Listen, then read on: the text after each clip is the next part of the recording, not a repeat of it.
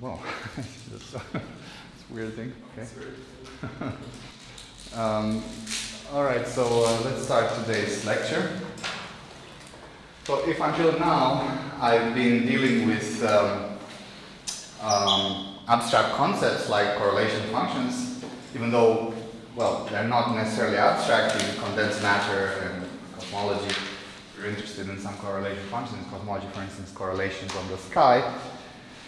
Um, nevertheless, in terms of particle physics, at least, these are not uh, directly observable, so you might have wondered uh, why uh, care about them.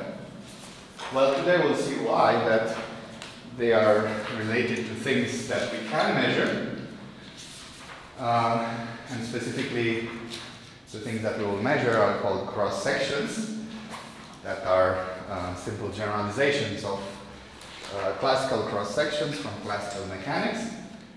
And um, in terms of uh, quantum field theory, this will be described what, by what it is known as the S matrix.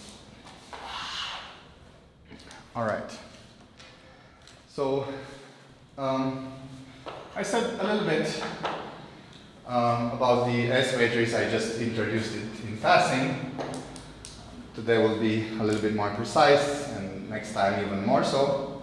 But roughly, as I said, it's a matrix, that a quantum matrix that's defined as a um, expectation value between an initial and a final state. And there's some quantum operator that we can call uh, S. And that's specifically an S standing for the S matrix. And specifically, uh, this is the time evolution operator. Um, and even more specifically, it's actually the time evolution operator in the interaction picture.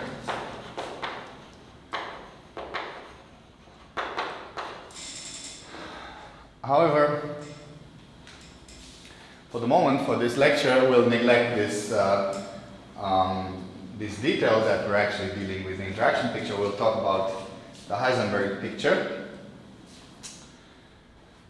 So this will be the quantum object that we want to calculate, which will be related by the LSZ um, relation or theorem. So this will relate SFI to correlation functions.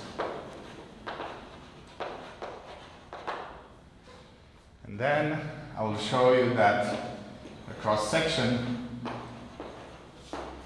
can be found from SFI. okay?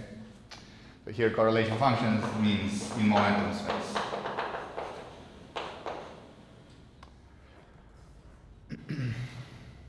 All right. So that's, that's the plan of uh, the lecture. So first, before we go into um, the details of how to calculate that in the quantum theory, let's understand what are cross sections.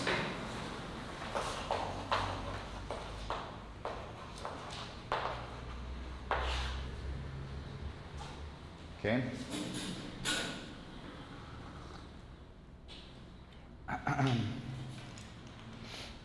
All right, so this idea of cross sections, um, as I said, relates to particle physics. So, in particular, we we have some experiments, and uh, well, there are usually two kinds of setups. The um, the initial setup that was used was for uh, for a bunch of particles thrown against a target.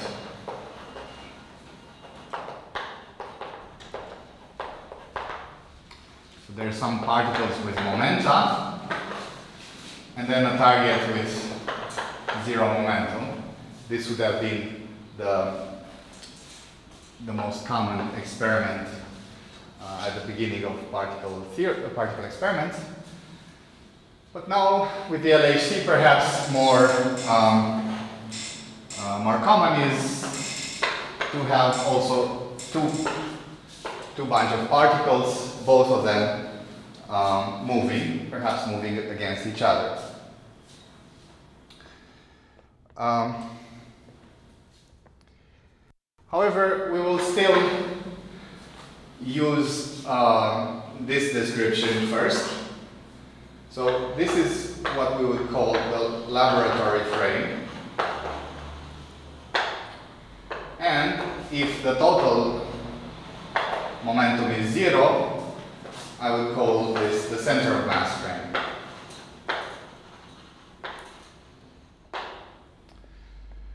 Okay? Um, so let's say uh, let's say that roughly speaking, I can think of this bunch of particles as being situated in some volume that uh, is described by this box. So there's a bunch of particles in here. It's not a physical box, it's just the volume in which these particles exist. And they move with some velocity v. And in this uh, box, let's assume that there's an approximately constant uh, density rho b. And then this thing has a length lb. And then the same thing for the targets, just that targets we assume are at rest. Well, for the moment, then we'll consider also the more general case with the velocity of the targets. So rho A is LA.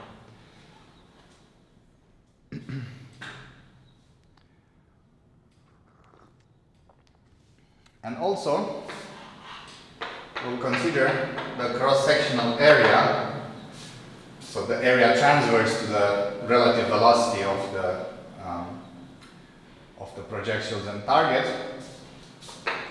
Um, so we will consider that to be an area A.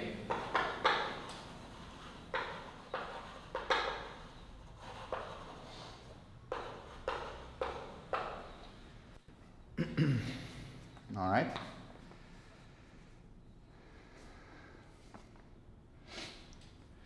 Um, so now to define the cross section, the cross section will be denoted by sigma. Um, we can take two points of view. So the one taken, for instance, by Peskin and Schroeder is to just state this, to just notice that um, this, the, the number of particles scattered, so let's say number of scattering events,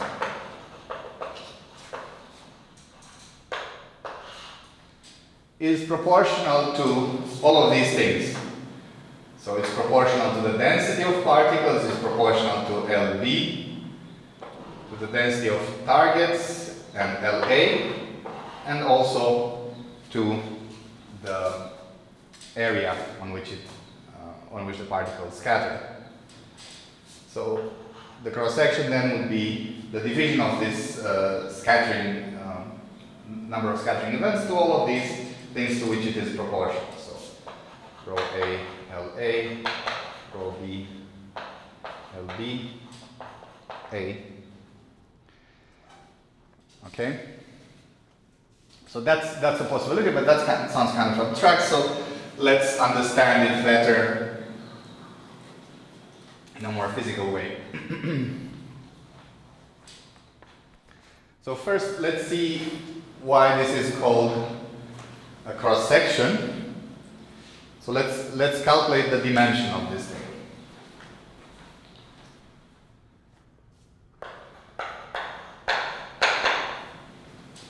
So the dimension of this thing would be what? So number of scattering events, that's something without dimension. One. And then uh, rho A is something 1 over L cubed is density uh, is number for volume. LA is length. Then another one over L cubed and L. L. And then finally area, which is L squared. This is dimension of length squared, that is of area. Okay, so the cross section has the dimension of area. So it's an interpretation in terms of an area of something. so the interpretation of the cross section is that um, it's an effective area for scattering around the single target. Single target particle.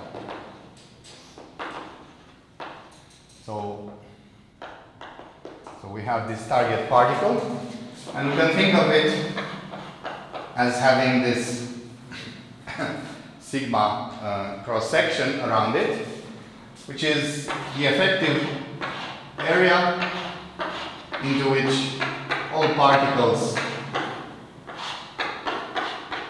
that uh, come in are scattered, and then particles that go further are not. Okay, so that's that's an interpretation given simply because of the formula we wrote. So this is something with dimension of area, and we divide by since in fact rho A L A A is actually the number of uh, the number of uh, particles in the in the target, right? LA times A is the volume and rho A is the density, so this is the number. So this is a um, is an area that is per target particle. So the interpretation uh, must be correct. and uh, well, if you have this in classical mechanics, you um, you know that this is a good um, extension to quantum mechanics to the, to the classical notion of cross section.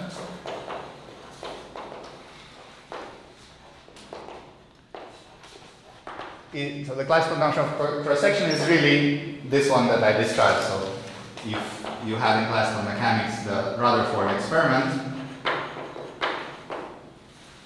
classical Rutherford experiment because at the time that's what people had, um, where you have a nucleus of charge plus Ze, and then Coulomb scattering around it. And well, in that case, it's, you know, you calculate a, um, a kind of diverging um, angular d sigma d omega, the cross section per unit um, um scattered the cross uh, scattered solid angle. But um, but you had really this interpretation so that you calculated for units unit scattered um, solid angle, you calculate the effective air area around the atom into which the particles come in order to be scattered there. Um, so, so, I don't know. Did, did, any of you have this actually in classical mechanics? Yeah. How many? All right, good. So some of you at least know. It's not really important, but uh, it's a useful picture. I say this because now, when we're talking about quantum mechanics, we will have this picture in mind, even though the process is slightly different. But um, that's what we have in mind. We have an effective area around the target into which we consider the scattering.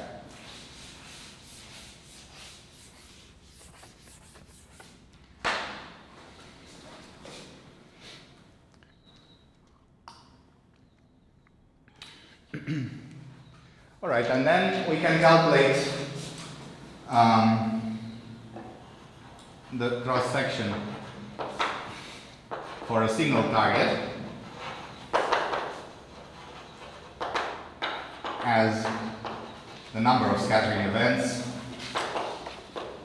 per time since I mean this notion is uh, slightly misleading because, of course, we have uh, usually in experiments we have a continuous stream of particles. But let's say, um, to, to be more precise, we have this continuous stream, so the number of scattered particles per time divided by the incoming flux.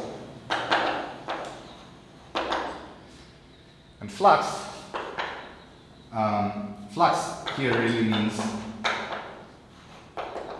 number of incoming over time and area. Right?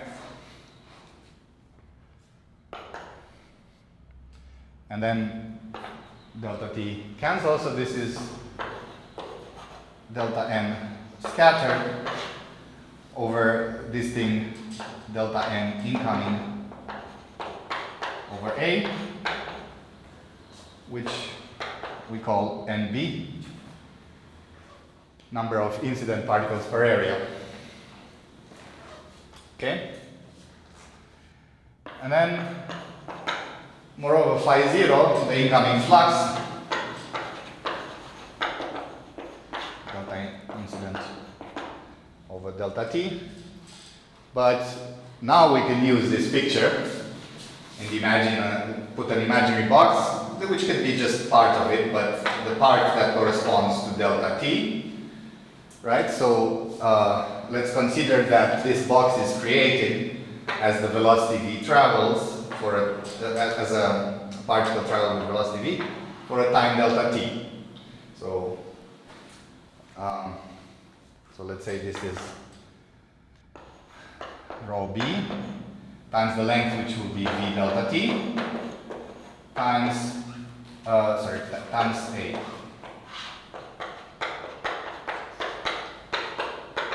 So then this is rho b v. Okay. and then for the targets, we can write the same as before. So for n targets,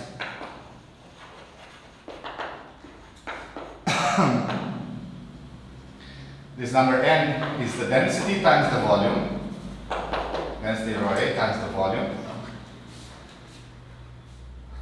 Um, and the volume in this case is the length LA times the area. So sigma, the cross section per number of targets, would be this thing from, here, so delta, delta n scattered over nb, which was rho bv, times rho a la a.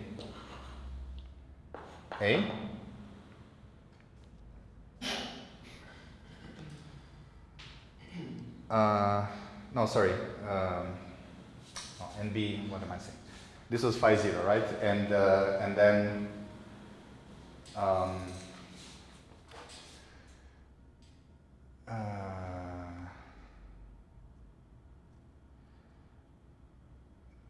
yeah, so I wanted um,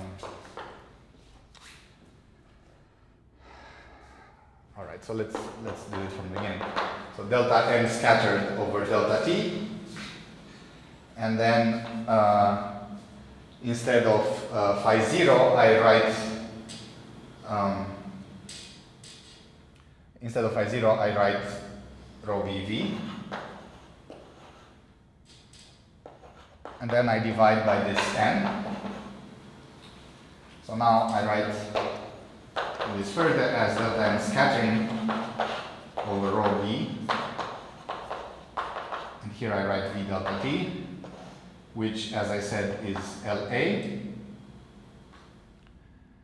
and uh, LB, sorry, and then rho A, LA, A.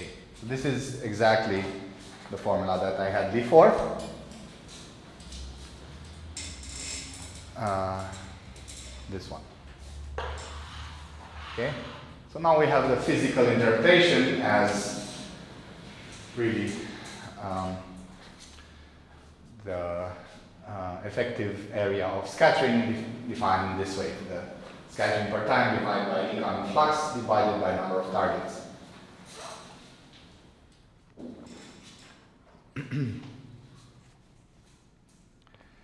and uh, well, we can observe here that V, I taken it to be the uh, velocity of these uh, uh projectiles for a fixed, uh, for a static uh, target. But of course, in reality, I can change reference frames, and then V actually means the relative velocity. So it's uh, just the modulus of VB minus VA. Because the relative velocity is uh, independent of the reference frame. Okay. Uh, and then, so this was the definition for the total cross section.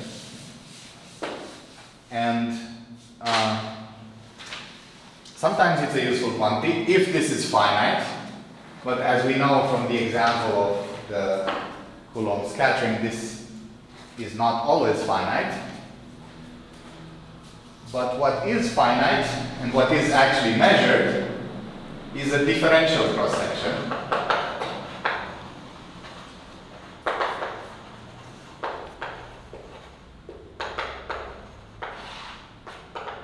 So what we usually measure in this scattering experiment we measure also the momentum, or at least the direction of the momentum. Um, because, well, we can, if it goes through a photographic plate or a calorimeter or something, then uh, we can just measure the direction. So measuring the direction means we measure omega, the, the um, or d omega, let me call it this way. So the um, the infinitesimal uh, angle, solid angle with respect to the scattering point. So then uh, um, so measure the omega or equivalently all of these dp's so, I mean, one thing that we would like would be d sigma divided by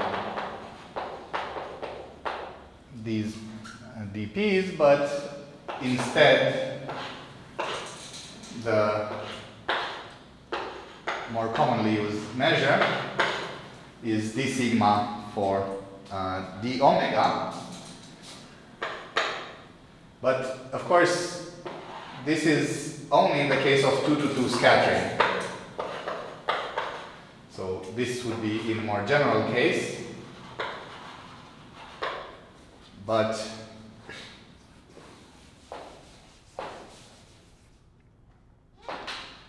if I have, so, so here P1, Pn means uh, final products. We have this scattering and then comes Pn um, n particles with momenta P1 up to. But uh, the more relevant, in, in most cases, the more relevant case would be uh, n equal to 2. And in that case, there are two variables which can be considered to be the two angles theta and phi relative to the um, direction. So let's say theta and uh, not good at drawing this, uh, the transverse one, theta and phi. So together they make this the omega. So uh, the reason why there are two, only two variables is simple, we can count. So the scattering is fixed, there's a fixed velocity incoming, so the only things that in a fixed momentum, Uh, so the only variables are the outgoing momenta. In this case, there are two, and they are on shell momenta, so really only the special spatial parts are uh, variables. The energy is fixed in terms of momentum. So this would be six components, but there's a four momentum uh, conservation for the total uh.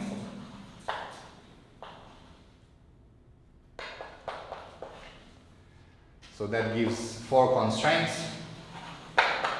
So two, var two variables. 6 minus 4 is 2. All right, so uh, in the n equal to 2 case, which is the most uh, commonly used, what we'll have is a d sigma d omega. All right.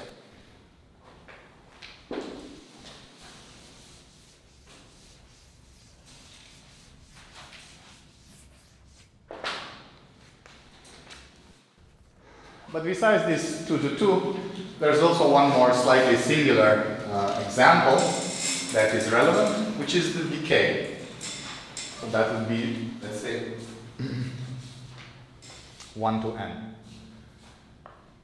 So we have this 2 to n, with the specific case of 2 to 2 being the most relevant, but also 1 to n,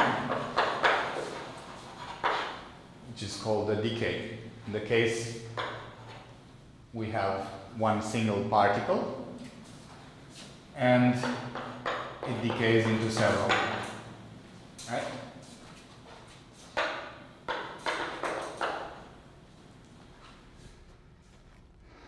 Um,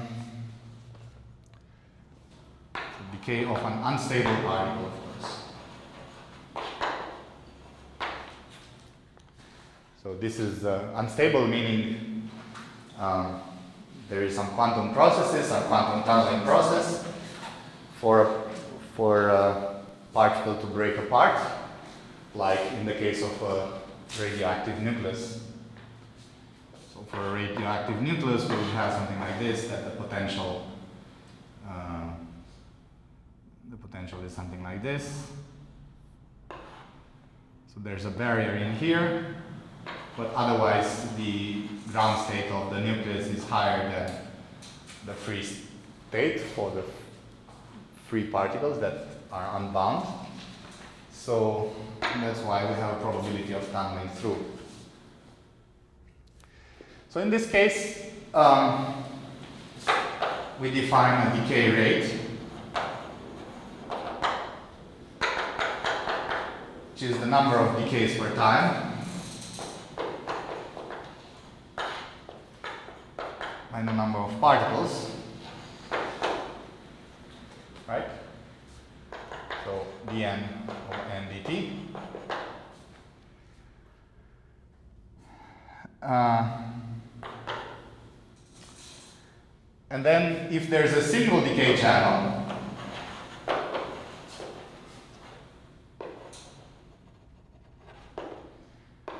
we define a lifetime of the particle.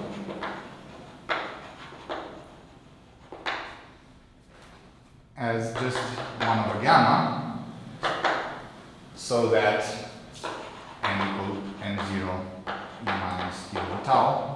is a solution of this equation dn over n dt is 1 over tau. Um, but if there are several, which is the most common, then I define this 1 over tau, not as gamma, but as sum of all the possible gammas. Right? So if you want some of our individual lifetimes for individual decays. Um, but where does this, um, where does this gamma appear in a quantum process? Well, so we know that uh, non-relativistically,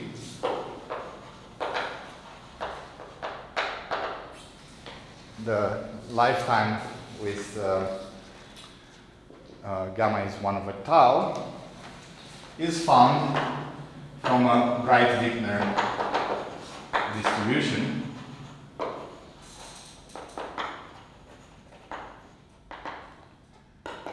That is Breit-Wigner resonance in the scattering amplitude. Scattering amplitude will be a function of the energy that's proportional to so it, resonance means a pole. Somewhere this function of the energy blows up at an e equal to e0 just that it doesn't quite blow up because instead of being a true pole it's a complex pole. True real pole is a complex pole. So besides this real part. I also have an imaginary part. So that a cross section or um, in this case decay rate so, well sorry a cross section for um, for the energy or, or uh, well, probabilities let's say goes like the absolute the modulus square of this which is uh, e minus e0 squared plus gamma squared over 4.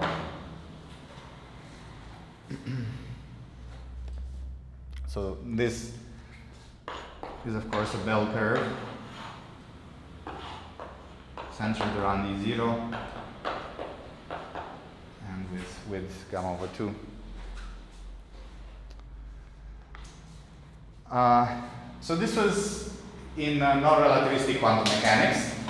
But of course, in relativistic quantum field theory, we have something similar.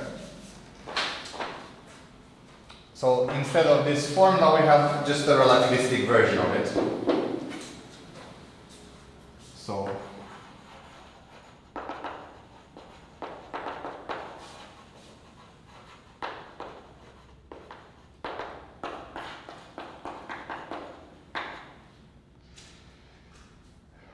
So um, here, of course, this was non-relativistic because it depended explicitly on the energy, right, through this uh, formula. But if you write a relativistic uh, generalization, it's easy to figure out that what you should have is this um, mass shell pole, p squared plus m squared. And then, so the point about this instability is um, it um, it shifts it shifts the um, uh, it shifts uh, the pole that would be otherwise real to a complex one. So in here similarly I would write a minus i gamma, but then since this is p squared versus just energy here, I need for dimensional reasons to add something else, so I add mass m. I mean, in principle I could also add something related to p, but near the mass shell, p and m are interchangeable, so um, I can use m. This is anyway the behavior near the pole. And then expanding um, this around the pole, this would be p squared um, e squared um, well let's say like this minus e squared minus p squared minus n squared right and so this is approximately minus 1 divided by um, well yeah rather I should say p0 squared and then call this EP squared. And expanding this p squared minus e squared, I can write it as uh, p0 squared minus EP squared. This is p0 minus EP, p0 plus EP. So this is approximately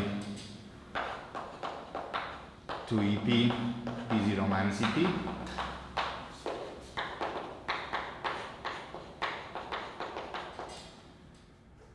Right? And, uh, and then I still have this term, the minus I extracted, so it's plus I and gamma, then divided by this common factor that I gave. Okay? So now this look, looks like this form. So P0, I mean the energy, and then EP is this E0, and uh, a similar formula. Okay? All right.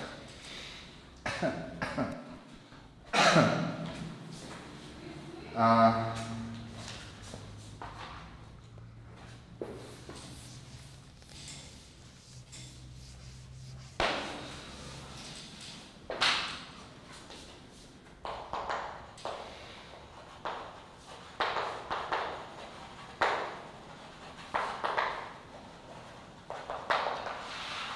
Now let's try to go towards defining this S matrix.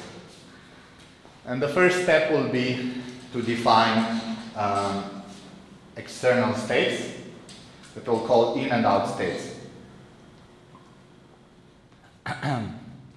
so we have to define states that scatter.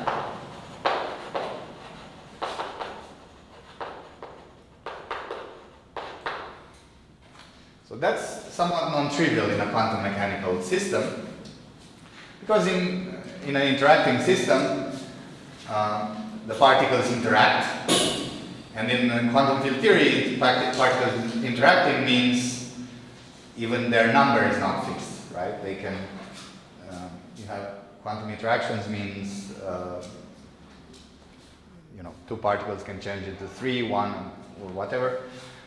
Um, so, in order for, to, to have uh, well-defined particles that can scatter, I have to talk about separated particles.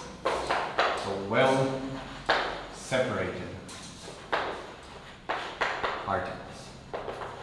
Separated because by separating them both in space and time, I, um, I can ignore this interaction between them. so I can consider them relatively free and therefore uh, being able to scatter. So I consider this uh, states with wave packets that are isolated, that are well isolated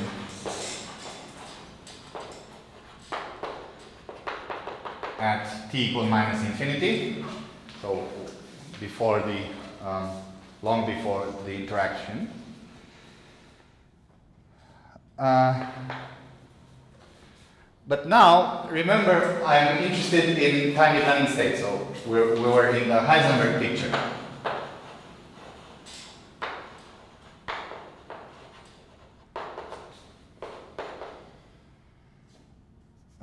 sorry, so yeah. So, uh,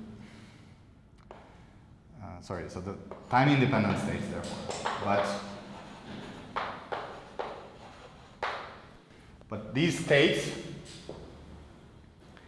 at time equal to minus infinity, so at time equal minus infinity, they are isolated, but at t around zero or t equal to plus infinity, they interact. Right? So these will be called in states.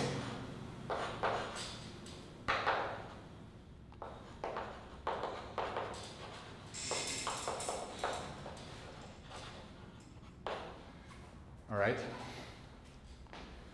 So the point of view is that this is um, the point of view of hybrid is that these are states that are time independent, but when we uh, describe them at t equal minus infinity, we think of them as isolated particles, whereas when we describe them at a finite time, we think of them as interacting particles. finite time or time equal to plus infinity as well. Okay?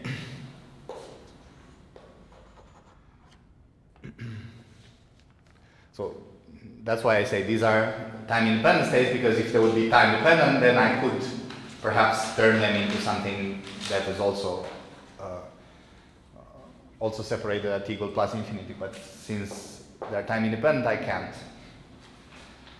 And similarly, then I can consider states that are well isolated at t equal plus infinity.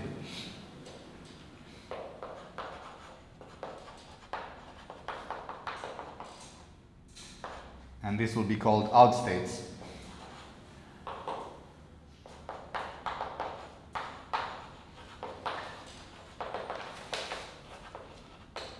And the same logic applies. So these states are time independent, but when I describe them at t equal plus infinity, then they're well isolated particles. But when I describe them at finite time or at t equal minus infinity, they are not.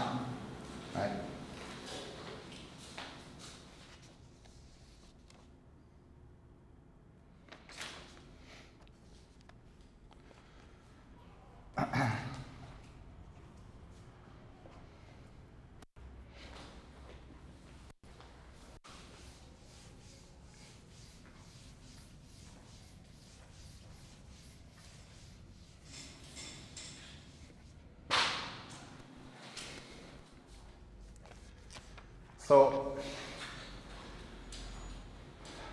we can we can think of these states. So if I take all possible momenta for these uh, in and out states, they either one of them forms a complete set for the Hilbert space, right? Because I describe all possibilities. If I at initial time I describe all possibilities as states that are well isolated, but with arbitrary momentum, that's a characterization of everything that can be. The same thing at, the, at the plus infinity, describe all possible uh, separated states that, um, that uh, have arbitrary momentum, so that's the all, all possibilities. So that means that both of these states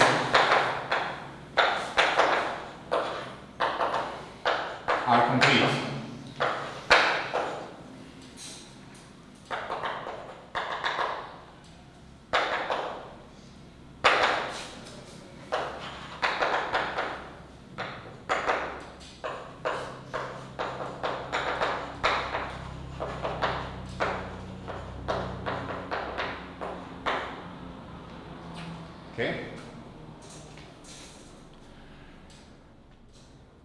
they offer a complete description of the system, either from the point of view of being separated particles at plus infinity, or from the point of view of being separated particles at minus infinity.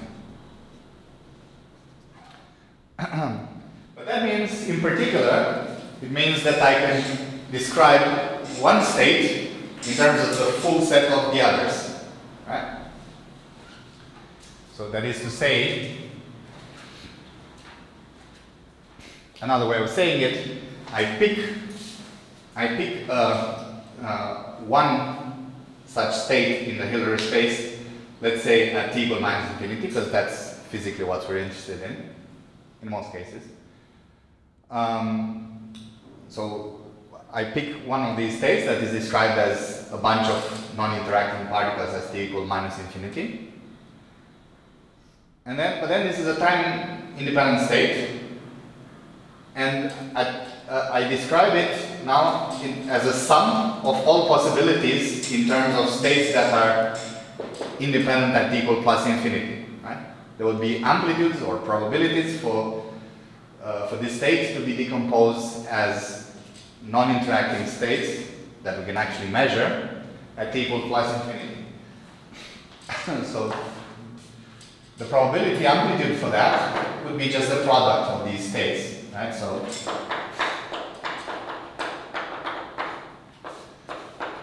so let's say I have I mean, this is not necessary, but this is the, the standard case where I have two initial states, A and B, and several final states, T1, 1, 2, until n. Okay, so this is then the probability amplitude to start with this state of um, well-separated particles A and B at t equal minus infinity and end up with the state of well-separated particles 1, 2 until n, momenta p1 and p2 and so on, at uh, t equals plus infinity. Right? Uh,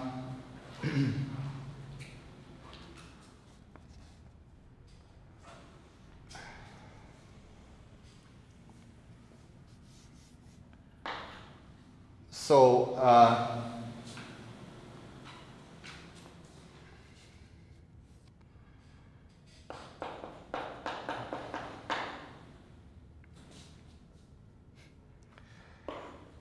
Now, since this is a product, this is uh, this can be described in uh, either um, Schrödinger or um,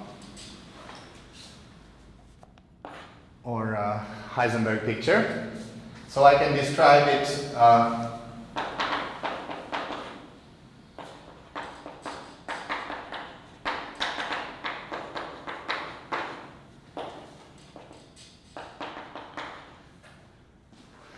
So this is a state at minus infinity projected into a state at plus infinity.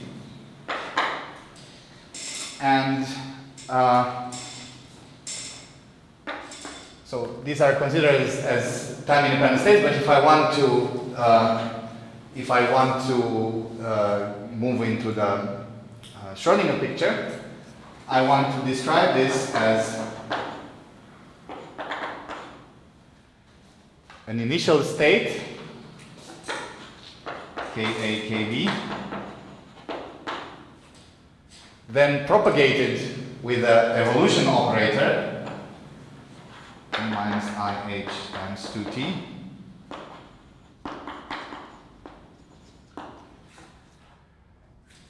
until uh, time, so from time minus t to time plus t, right? And then project it into the corresponding Schrodinger state. So this in and out, they were Heisenberg states. Then these are Schrodinger states. Okay? Uh, so, then the S matrix is defined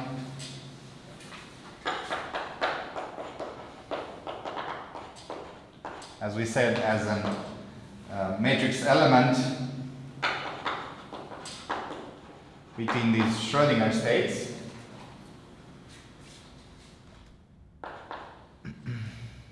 And then um, And then this is just the um, product of these Heisenberg states in and out states. All right? So, so then it means that as an operator, as an operator defined abstractly, the S matrix is uh, just the evolution operator.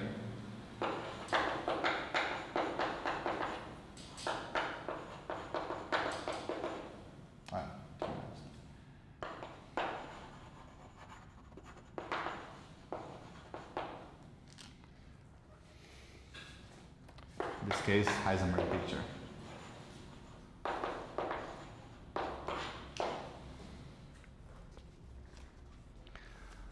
All right? Good.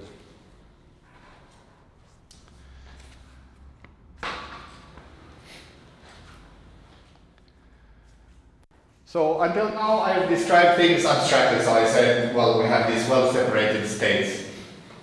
But what does that mean? to have these well-separated states? Well, in general, we have wave functions.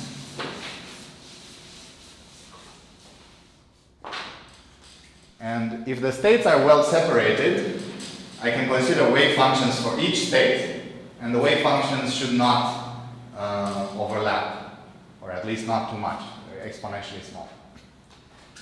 Okay?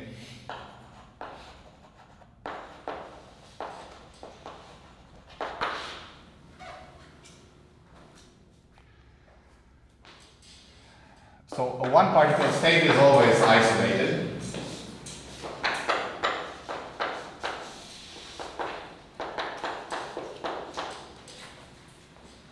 So having an in or out single particle state is kind of a trivial statement.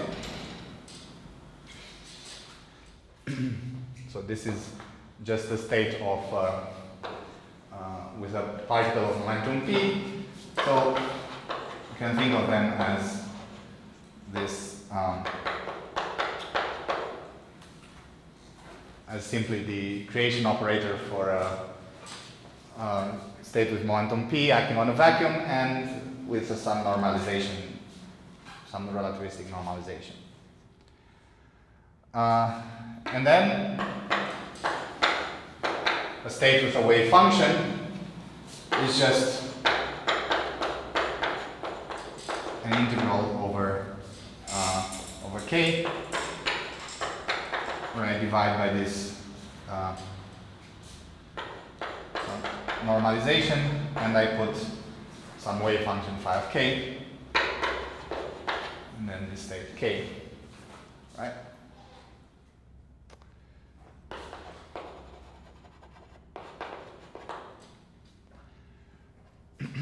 so this is a one particle state, that's trivial. Uh, and the normalization is, of course, chosen such that I have this um, integral over this phi k modulus squared is 1. Um, now this wave function of course, can be anything in particular. I can have just e to the i kx. Or I can have something else, some, some function, some more complicated function. Now, for two particles, this is already um,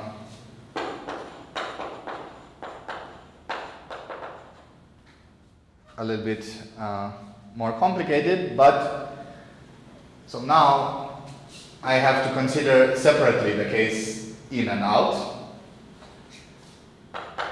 And if the particles are well separated, then I can think of them as a product of two of these kinds of states. So I can say that there are two integrals, uh, Ka and Kb.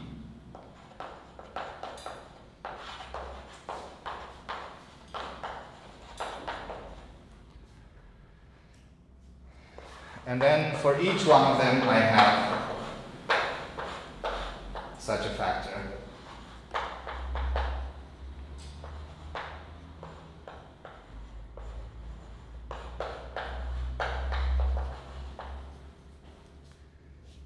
Then K, KB.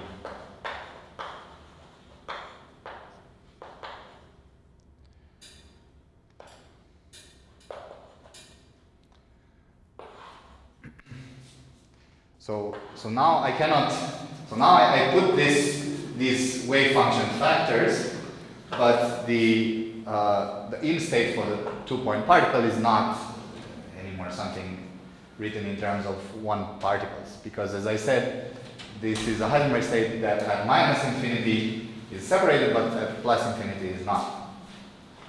So I just write it like this. So this, this would be enough. However, uh, usually one also adds um, such a factor E min minus I B times KB, where B is the impact parameter.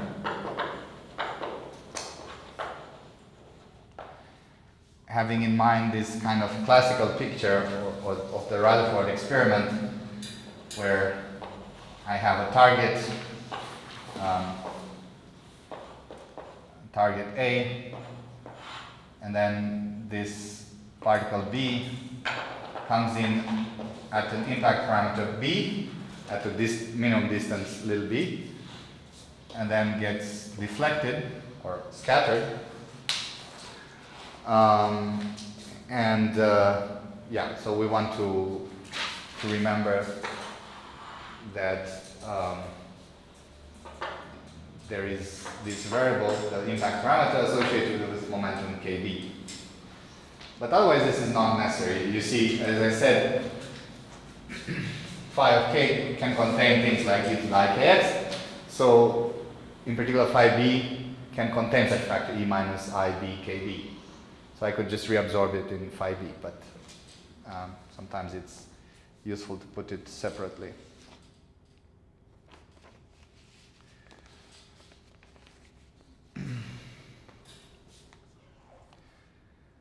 Um, and for the out state, I can also write um, for the out state, I can also write something similarly similar. So uh, call them phi one, phi two, and so on. Product of the, over these final states. Of for each, I have such a um,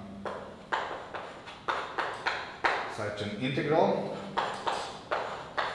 phi of pf phi f pf root to f and then this uh, outstate with given momenta. And here I don't need to separate this. This was just for the initial uh, states in order to remember that there was such a B, but in the final states I don't see any of that, so I, uh, I write just these integrals.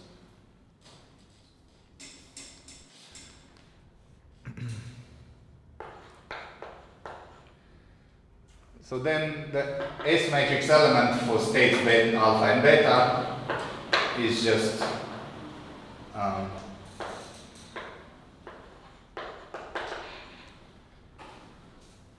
uh, is just uh, this product, as I said. And uh, this um, this product was the um, the projection of the state alpha in, which is a state defined over the whole space, but well separated at the initial uh, moment, initial time into states that are uh, well separated at the final time, beta. But of course, the probability for all possible betas given a state alpha must be still 1. So that means uh, total probability is 1. So sum over beta is beta alpha squared is 1, which means that this must be a unitary operator.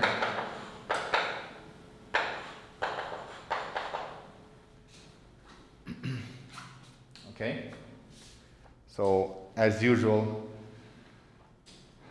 these amplitudes uh, correspond to unitary operators.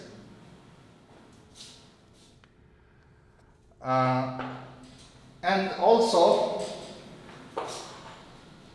part of this uh, probability is to have the same kind of state come out. So there is a probability that the state didn't, does not interact at all in the middle. So that means that S has to contain the identity, and then there's something else. So that's something else that is purely interacting, I call IT.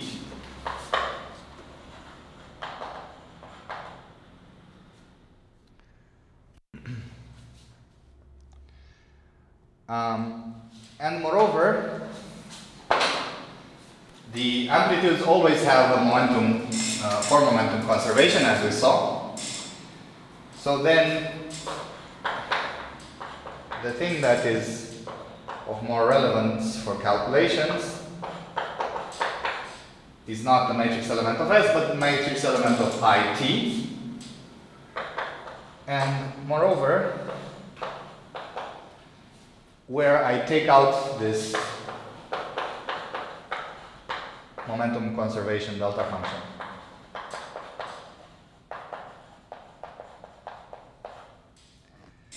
And so I call the remaining object, the, the actual matrix element I'm interested in, I because I have this I times m for Ka, Kb going into this Ps.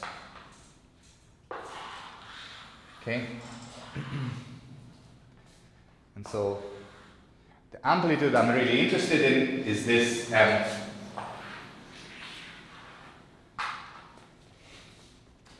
So it's from this S matrix of projection of uh, in states onto out states, I take out the trivial part, the identity where nothing happens, and then from the matrix element of the remaining uh, objects, I take out the momentum conservation delta that resulting m is the amplitude.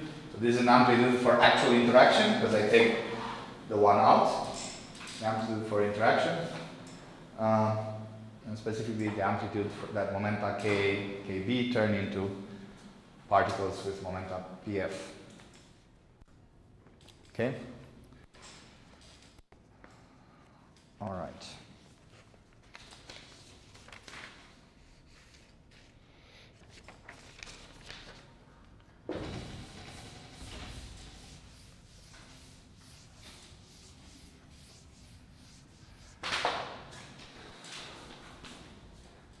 So finally has come, we come to the uh, interesting part to relate, um, to relate these cross sections, well, to something that we've calculated before. So, well, before we get to the cross section though, let's consider the relation of these matrix elements. So actually S matrix elements, but what we will actually calculate would be uh, m to um, to uh, correlation functions. So the corresponding relation is called the reduction formula by LSZ. It stands for Lehmann Symanzik. Symanzik.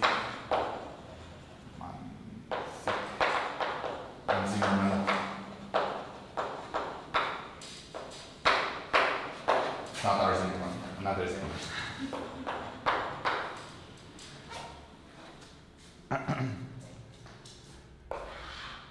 Uh, so we have the LSZ reduction formula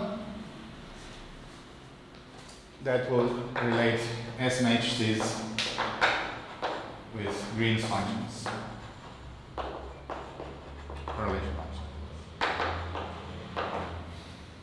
And this will be in momentum space. Um, now, well, we don't really need to, but we can write a, a, a, slightly more general formula by introducing also an operator A besides the uh, besides the regular S matrix. So I just do this for generality, though perhaps it's somewhat moot since anyway we're interested in physical things. Um, so let me calculate, let, let me introduce this momentum space uh, correlation function. I separate also initial and final momenta, calling them kj and pi.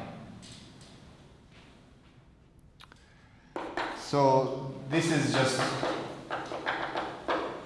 um, this is just uh,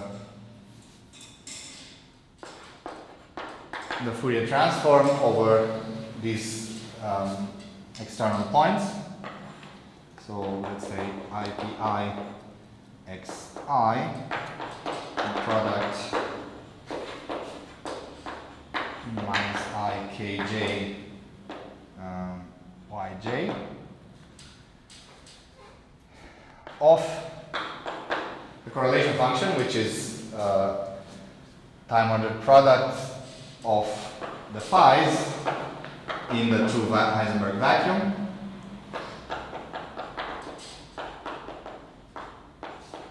Now with also with the insertion of this operator A, I don't need to, but why not? Also, it's a way of separate, separating um, the incoming and outgoing things.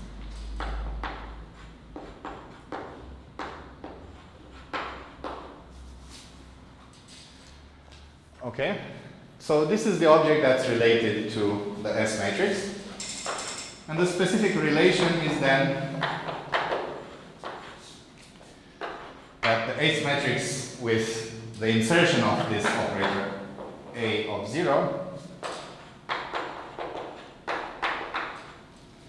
the S matrix is otherwise the projection of the initial state K in into the uh, final state P out now with insertion of A of 0 is related to a residue at a certain pole for uh, at the massless pole for all external particles.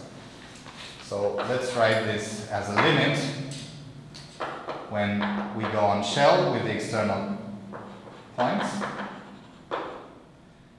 and uh, kj squared going to minus m squared j squared Right, so I go with all the particle, external particles, all the external momenta on shell.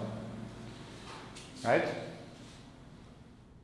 So note that this is this can only be taken as a limit. So the point is that this Green's function that depends on arbitrary momenta, when I take this uh, momenta on shell, it will go like a pole. So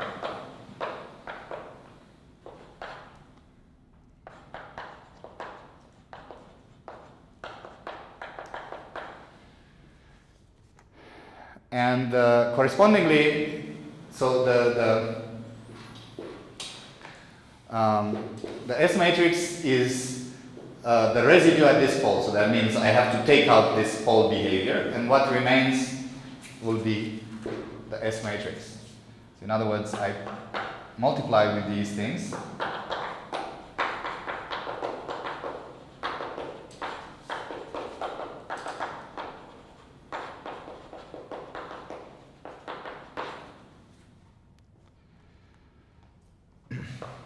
and then um,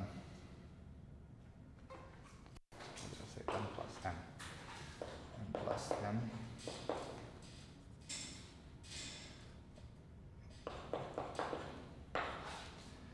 So pi kj. But there's one more um, one more uh, trick in here. Actually, I also have some factors of square root z. Well, actually, uh, minus i square root z.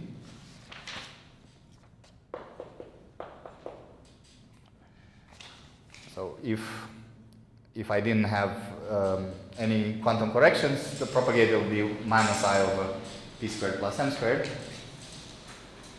Um, and, uh, and so I have to divide by these things as well. So yeah, I can put this in front, whatever. Yeah, my 1 over minus i z to the n plus n.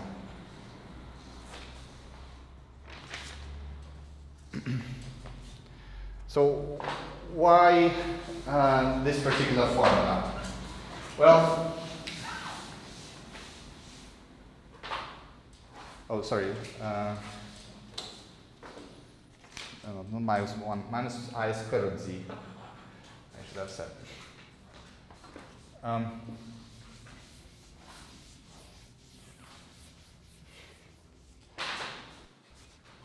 So why this particular formula? Well, if I look at the two-point function or propagator, the two-point function is the, the what replaces the propagator at the quantum level. So it's the uh, the, the propagator plus quantum corrections. Right? So this would be a function of a single momentum.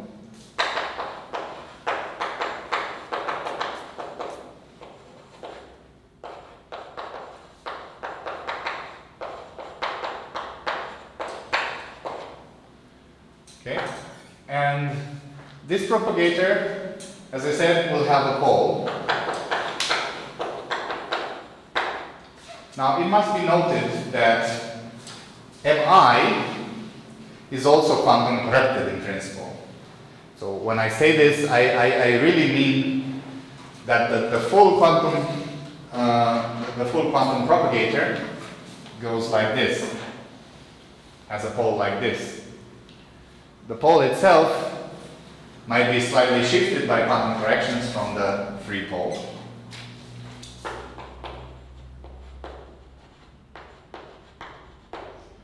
But also in, uh, in quantum mechanics, I also get a non-trivial residue, right?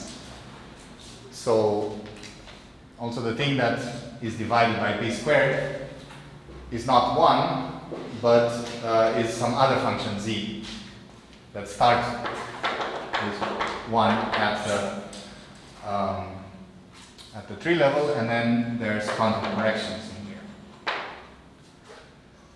Okay, so order g squared.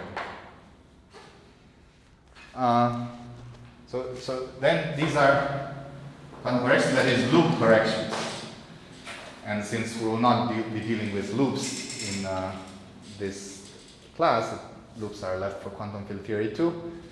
Um, I'll not say more, but uh, I will just note, so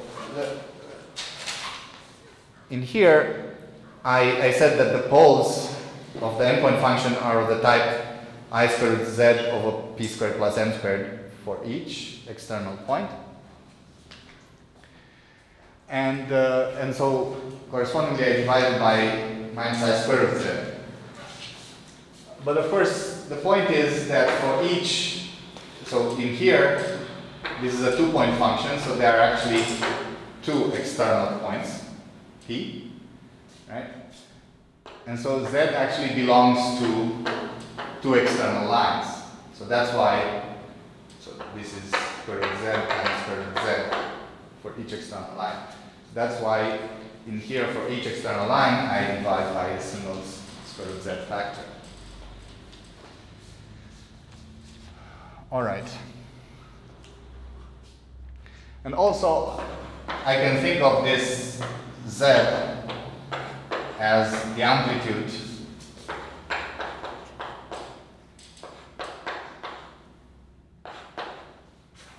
modulus squared of the amplitude for uh, to be in a vacuum, in the full quantum vacuum, given a phi of zero acting on a state with momentum. Um, so, well, I'm, I'm not sure how physical this interpretation is, but otherwise you can just think of it as a quantum object that, uh, um, that appears due to loops in the pole of the propagator. All right. So finally now, the last step is to consider the relation to cross sections. How do we get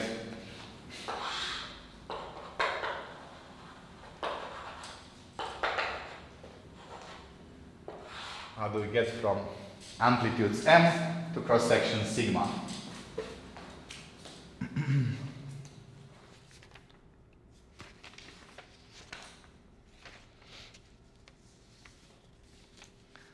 All right. So the probability is to go from states A to B to 1 two, M would be uh, an integral over, over all possible external uh, final momenta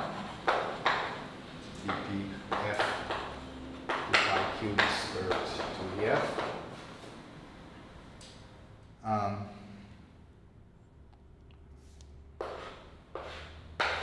so an integral of all these things, and then the probability, which is the absolute value of this S matrix, right? So absolute value squared of this S matrix, which is the product of out into in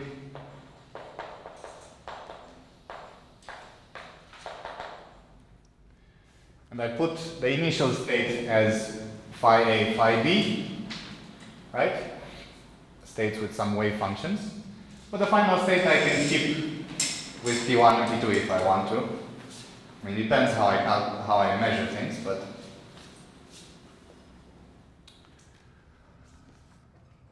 Uh, so if I have one target, is na equal to 1 and particles per area nb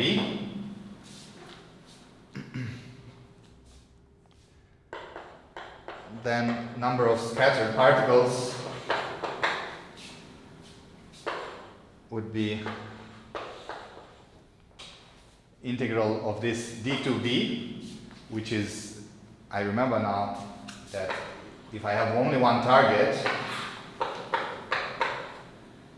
the, the distance b, I mean, or more precisely the vector um, b perp, right? The two, the, this thought as a vector, a two-dimensional vector in a plane transverse to the, um, to the incident direction. So this vector defines the transverse area, right? So particles can come at each um, each possible b. By integrating over b, I effectively integrate over the transverse area. And then I multiply this in order to get uh, to get the number of particles. And I and what I integrate over is the probability uh, for this scattering to happen.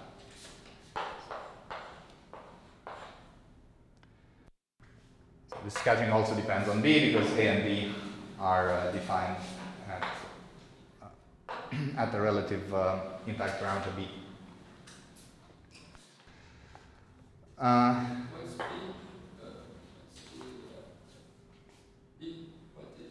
probability, right?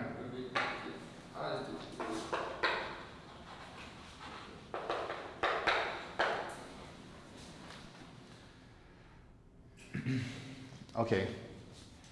Uh, so then the uh, differential cross section and the differential d sigma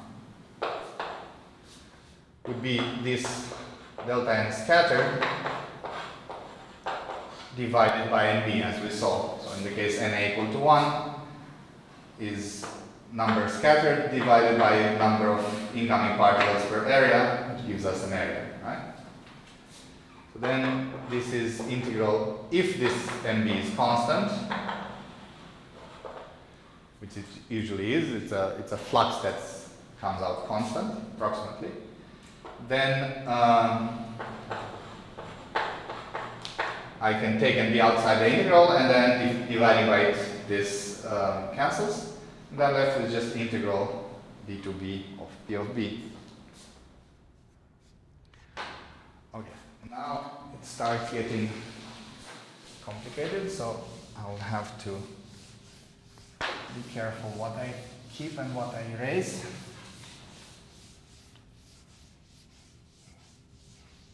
Uh, that's right here. The sigma then is well, integral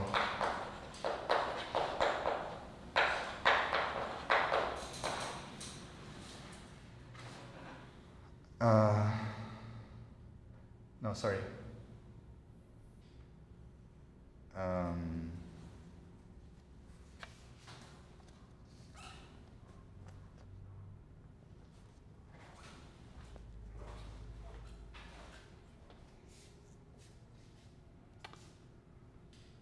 Uh, wait, why was it not square root 2 yet?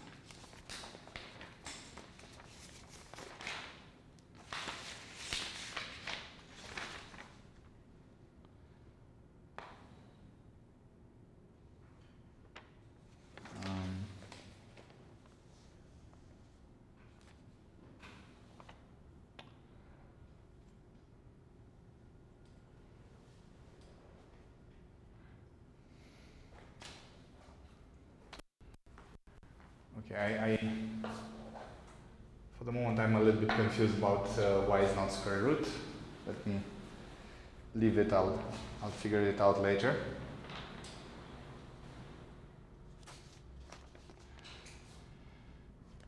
Anyway, then we still have this integral over d to b, which was the impact parameter giving us the integral over area.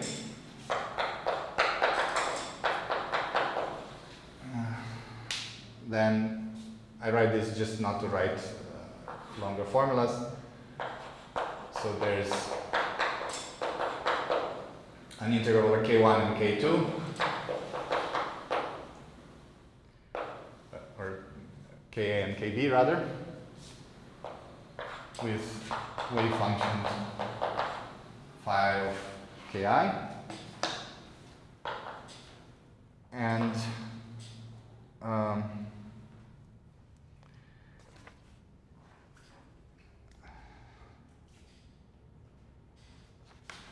And since um,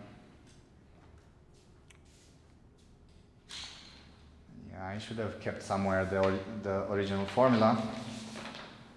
Let me write it here in a corner.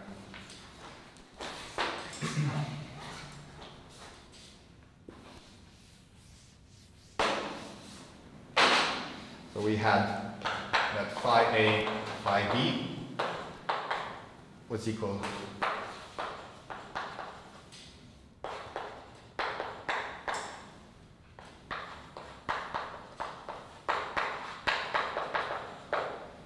this integral times the wave function divided by square root 2a, same thing kb.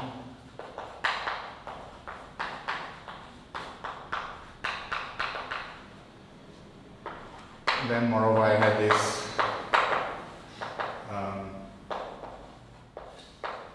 minus ib kb factor and ka kb in. Okay? But in the prob yeah, now I read the other one. Never mind. Uh, so in here I had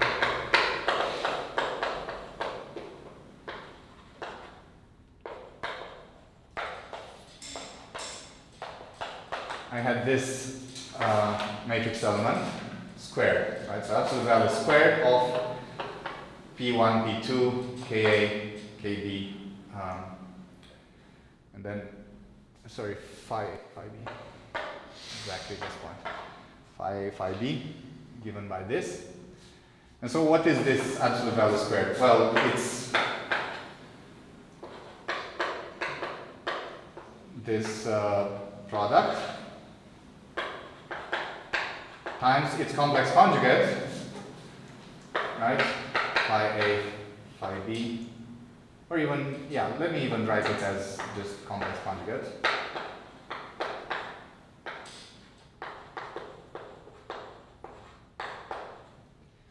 Okay, so each of these things, both phi phi b and the one in its complex conjugate, I write as an integral, this factor times uh, k, kb. So now, when I write this d sigma, then I have the integral over uh, ki with phi i ki, and then also the complex conjugate. So that's another integral that I'll call ki bar, 2 pi cubed phi i complex conjugate ki bar over square root 2 e bar i. Okay.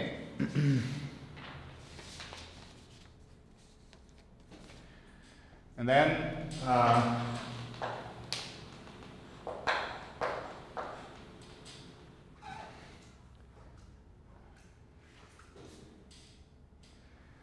then I would have e to the minus i b k b, and then from the complex conjugate I'll get e to the plus i b k bar b, right?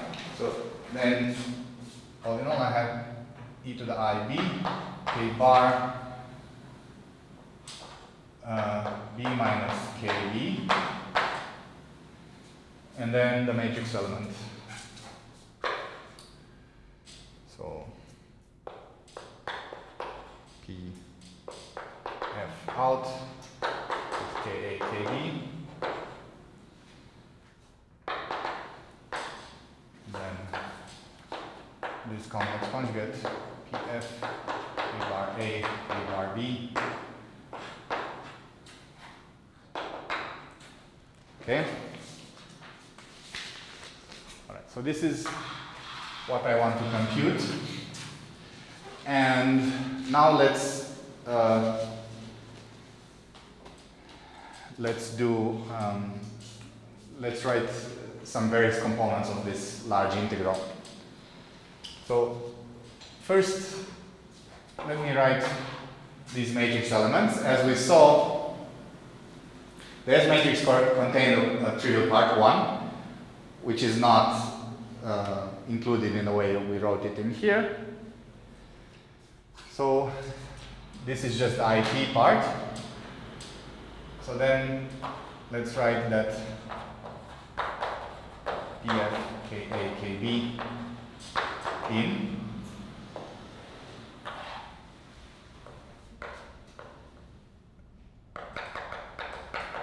So remember here I have s equal 1 plus it, but 1 as I said doesn't contribute here. So we're writing only the it part, and the it part was written as this momentum conservation delta function. Uh, some i equal maybe ki minus some fpf times this im. I'll not write m of what because it's clear, but im.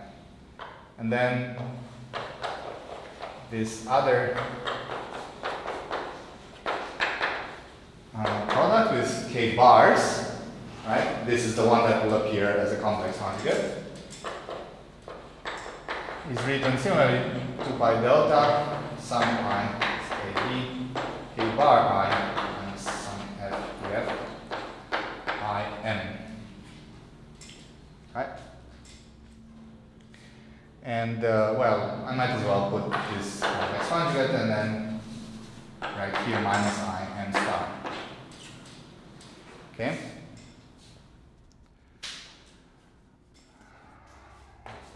All right.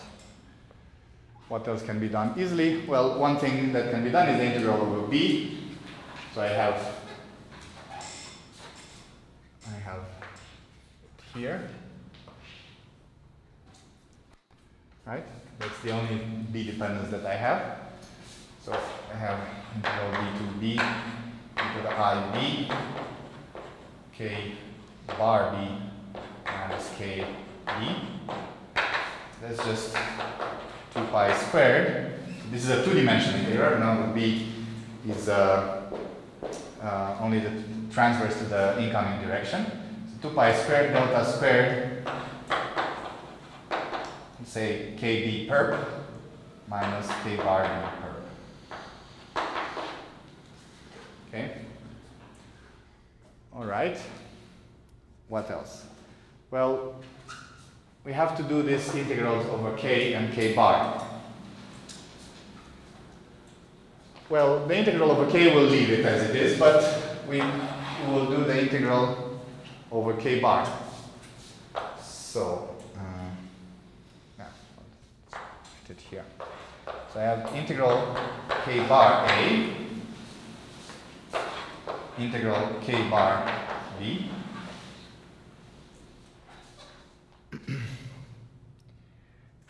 uh,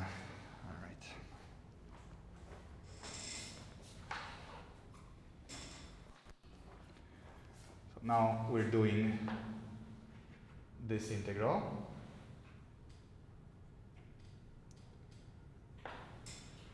This in, in principle uh,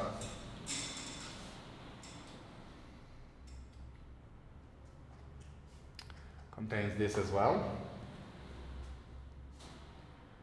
And then I have um, I have the dependence in here, which translates to this, right? And I also have a dependence on k bar in here.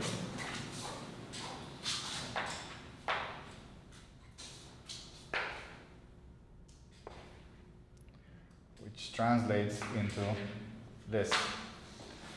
All right?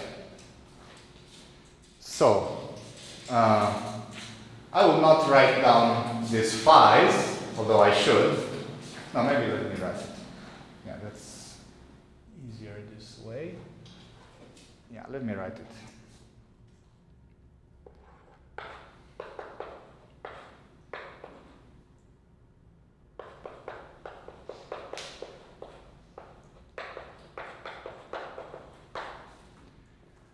because the way I write it in my notes is slightly confusing. Let me write it like this, and then, but just put this in a bracket. Um, and then I have these delta function. So delta 4 of uh, some i k bar i minus some f pf. Delta 2 k b perp minus k bar b perp. Okay?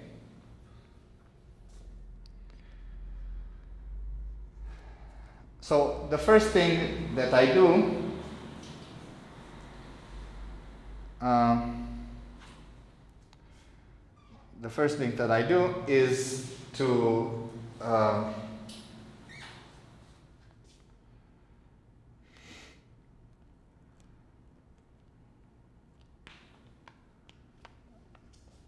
um,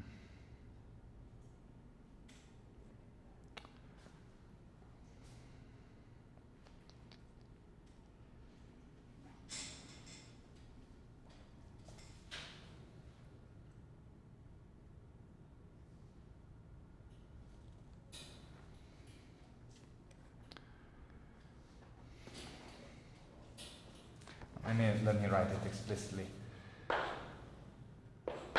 K bar A plus K bar B minus this. Okay.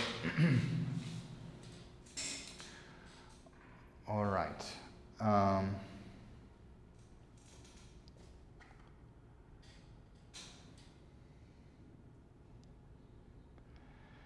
and uh, so if I do the integral over yeah, and I also should, should write this as integral d2 k bar a perp dk a z and this integral d2 kb perp dkb z.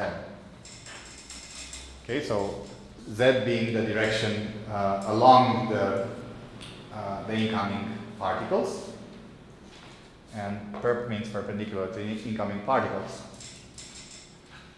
Okay, so now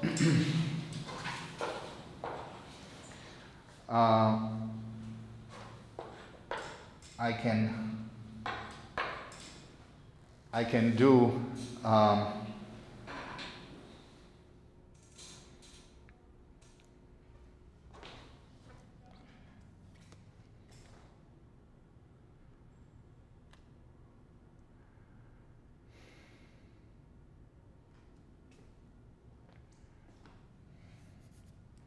So I can, I can do the, the integral over kb perp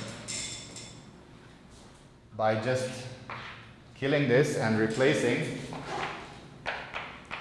kb bar, uh, sorry, integral over kb bar perp, and replace kb bar per with kb per. So in particular, in here I'll have kb perp, k bar bz now. Okay?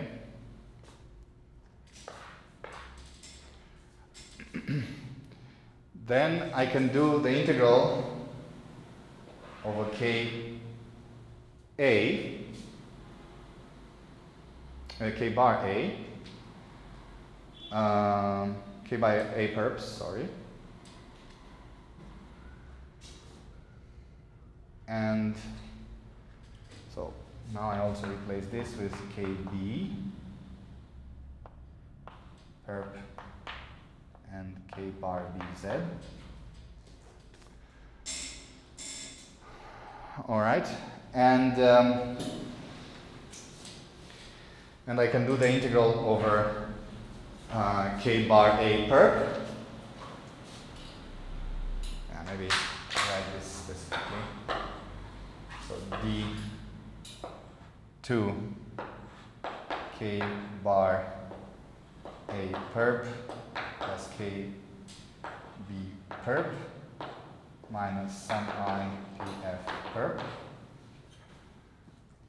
Okay, and delta k a bar z plus k b bar z minus pf z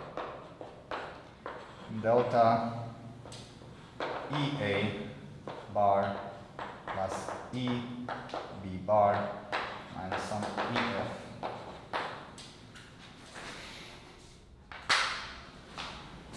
and um, so I do the integral over k bar a perp. So I, I replace then perp is kb perp minus some i bf perp. In, partic in particular in here.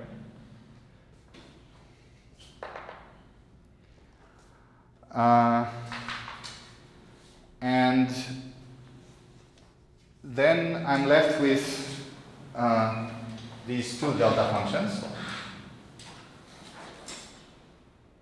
And these two integrations. Right? So, I write this as phi a star of, well, I'll still write kb a and phi b star k b bar, but I mean with replacements as uh, given by the two delta functions. And then I have these two integrals left, d k b bar z. Um, and dk a bar z. And then these two delta functions, delta of k a bar z plus k b bar z minus some f p f perp, p, uh, pfz, and delta of ea plus eb bar minus some ef. And to do this, um, integrals, Excuse well, me. first, yeah. Why can those spies go, go outside the interview? No, they're not outside. I, um, they're not outside. I just mean, yeah, they- they're inside. You're right, but I just mean I replacing them They still have uh, the things over there, and here I have delta functions, which will also mean some replacements in them. So I don't care for the moment. I just don't want to write an extremely long formula. Right. Um, so uh, I can do directly uh, one of the integrals, let's say this one. So by doing this one, I replace now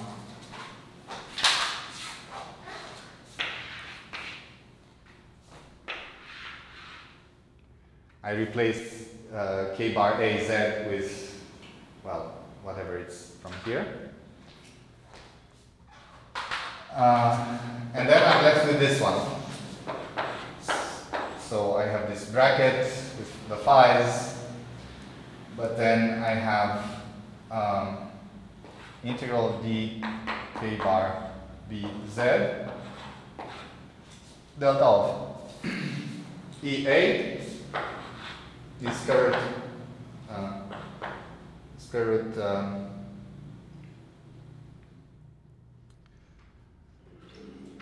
um, yeah, square root k, k bar a squared plus m squared plus eb bar is square root kb squared plus m squared b squared. And then sum over f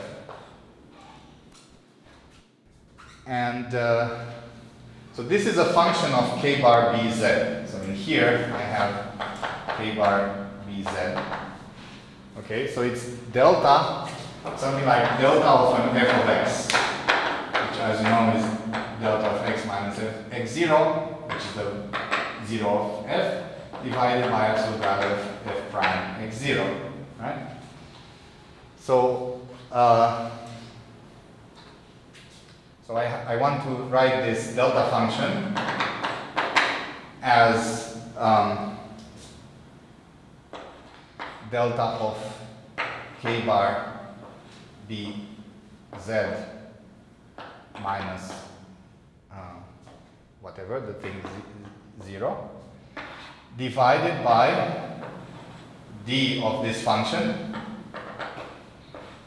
divided by d k bar b z. Okay? So I have to differentiate this function with respect to k bar b z. And what do I get? So d uh, and you see it doesn't appear in here nor in here. It only appears in here. So this this is d square root k bar b squared plus mb squared divided by d, so which is, this is db, divided by uh, d um, k bar bz.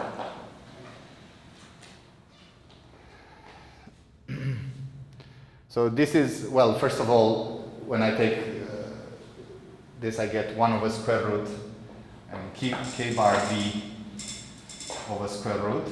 The square root is e bar b. And in here, I will get products. Uh, so k bar b z square, uh, squares plus k bar b perp squared. Um, but this is irrelevant, so the only contribution is from k bar b z, right? So this derivative is just k bar b z over e bar b.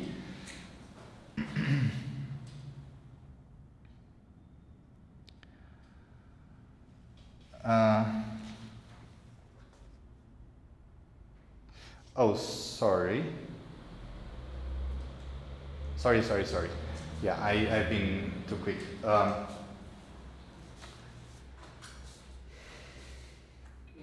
so this, this is also now dependent on, on, e, on k bar b because I already, unfortunately, I, I, the way I wrote it in my notes was, was better, Uh, here I forgot, I, I, didn't write what I replaced with, but that's the important part. So the important part is that I replaced,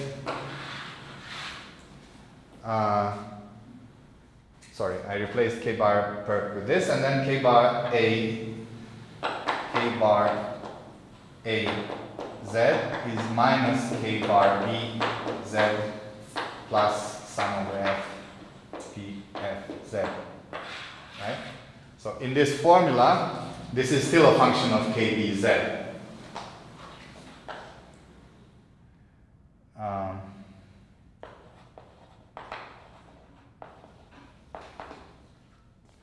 so I have this, but then I also need to calculate the EA, E bar A, divided by dk bar bz.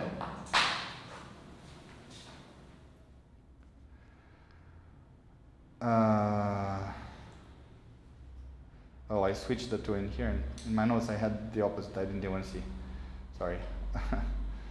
yeah, in my notes, I did first the uh, integral over uh, k um, kb and then the integral over ka. Never mind, it's the same thing. So, um,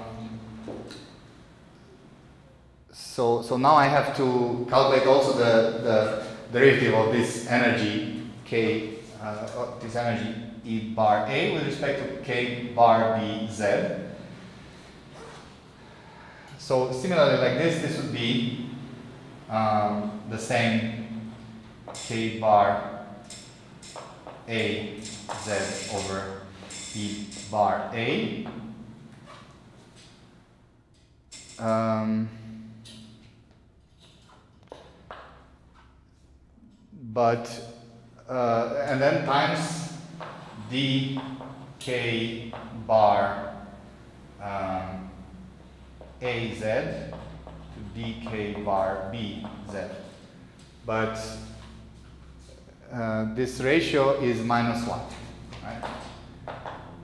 This is minus k bar a z over e a. Okay. Um, and then, yeah, and then that's it. So the delta function, the delta function is written k bar bz minus its value uh, divided by absolute value of, of what? Well, we get um, let's write it specifically. So it's uh, k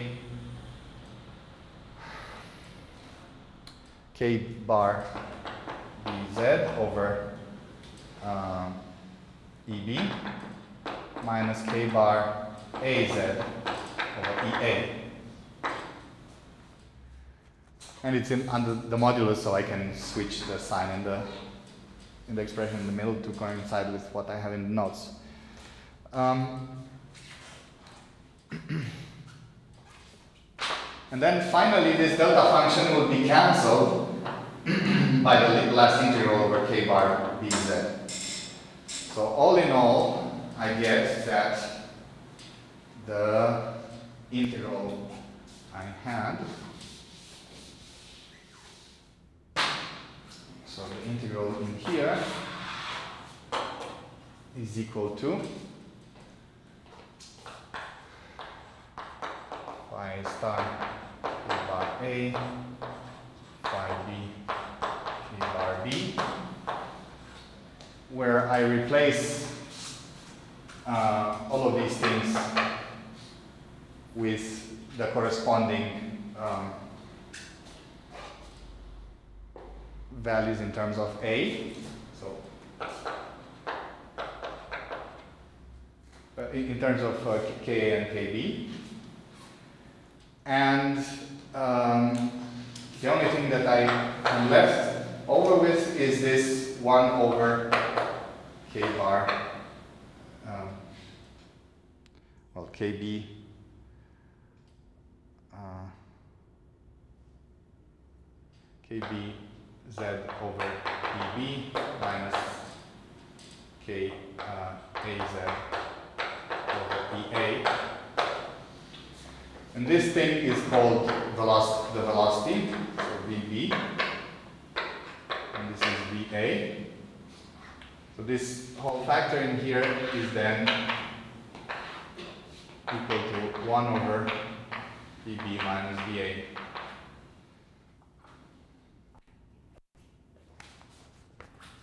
So that's the relative velocity.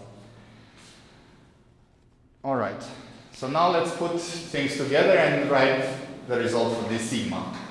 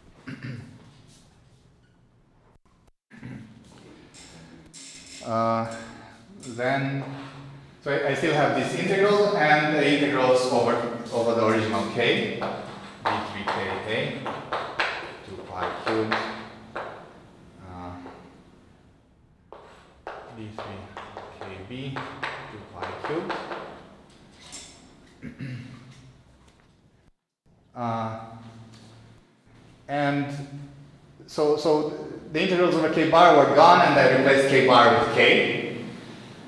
And then in here I have square root 2 e a to e b, and s- here square root 2 e bar a to e b bar.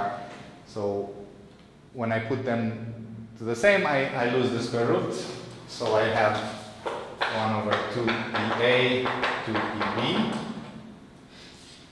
And then I have this factor VB minus VA.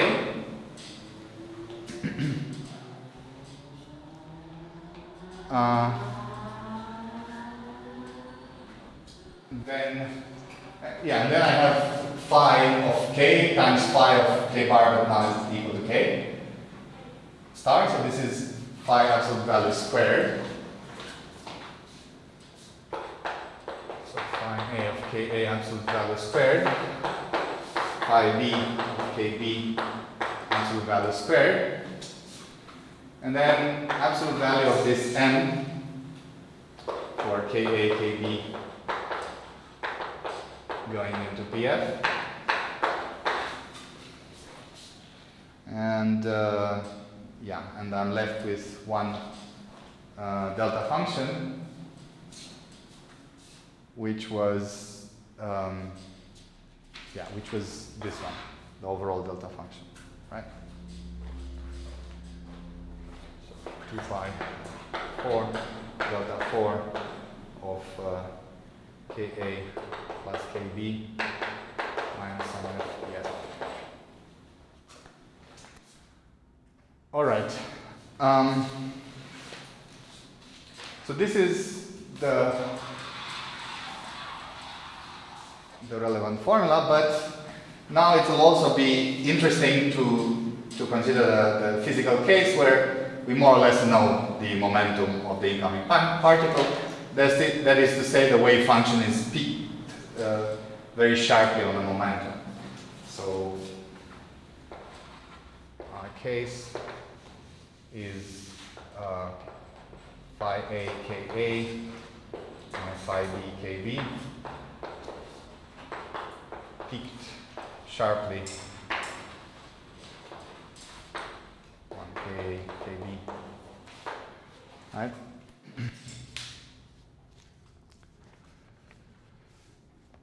um, which amounts basically so saying that this is delta of ka minus some pa delta of kb minus pb I mean, not quite delta, I should have said, so rather this thing squared should be delta, such that in, eff- in effect we just lose both these integrations and these, uh, uh, absolute value squared, right? So in other words, the probability, absolute value squared, of finding a particle in momentum k is very sharply peaked. Um, so in this case, we get just that d sigma with this integration of a final momenta.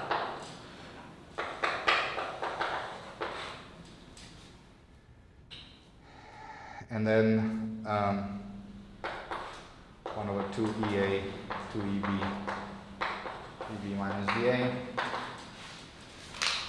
And uh, this integral m squared and 2 pi 4 delta 4. Okay?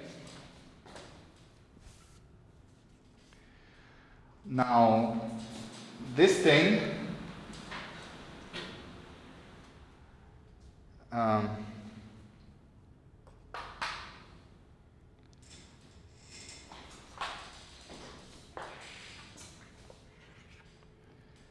this integration over the final momenta with momentum conservation, so the final momenta of A1 conservation, this thing is relativistically invariant.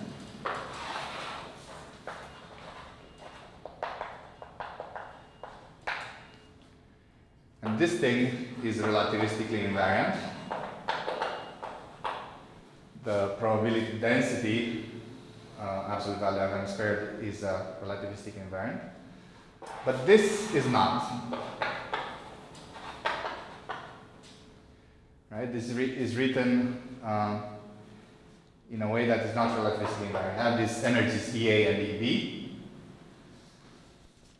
And uh,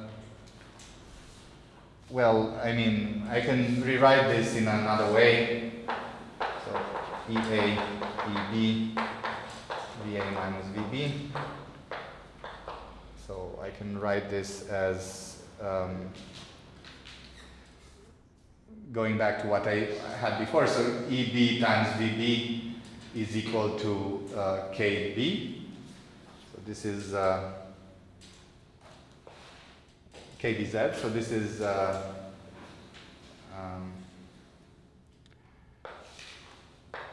EB PA KAZ minus uh, EA KBZ. Right, so this is not relativistically invariant. I can write it formally like epsilon mu x y uh, mu x uh, y nu of p mu a p mu b or, or k it can be. But anyway, the point is I, I have these uh, directions x and y singled out or, or 0 and z singled out. So that's not relativistically invariant. Right? The only way this is relativistically invariant is if the momenta are parallel. So when you, when you B is you are because KA, KE and are function of the external momentum and external energy, right? Because it's evaluated at external. So when you put PA, you are referring to the external. No, no, I, I, I no, I, I put. I mean, calling it K or P. The, the point is, I, I got lost a little bit in notation, so I didn't know how to, to write. So I, this probability is supposed to be peaked into some into some value, and I will call it either k or p, but uh, whatever. If you want, I can put it k tilde, and then. Uh, so it's not. No. Point is, it's, it's a and b, k and kb for uh, for the case where they're peaked. Anyway, so. Um, if the if the uh, initial momenta k and kb are parallel, so if Ka parallel to Kb, which by the way happens in both cases of relevance. So both cases of relevance, this is true. In laboratory frame, uh, Ka was zero. So yeah, it is parallel to anything. And in the center of mass, indeed, K is equal to minus Kb. Right? So in both of these uh, cases of interest, laboratory and central mass frame, this is true. And then uh, I can rewrite this factor as the relativistically invariant object over square root p, p1 dot p2 squared minus m1 squared or ma squared. Let's write it like this. Ah, k, kb. Right? Uh, again, I got confused by my notation. I decided to call them P and so on. Um, but uh, so so if I replace so if I replace this is really a replacement. Uh, this one one over EA ED ED minus EA by this one over square root k kb squared minus ma squared mb squared. Then this sigma is relativistically invariant. So I get a relativistically invariant cross section. But you have to remember that this is a theoretical notion. It's not something physical.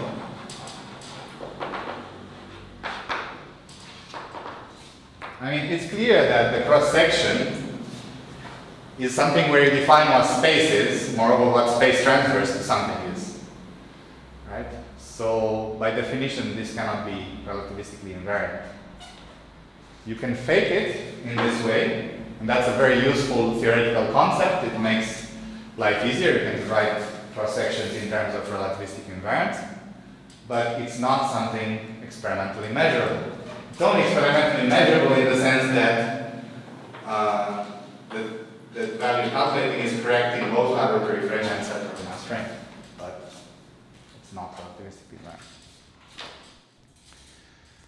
Uh,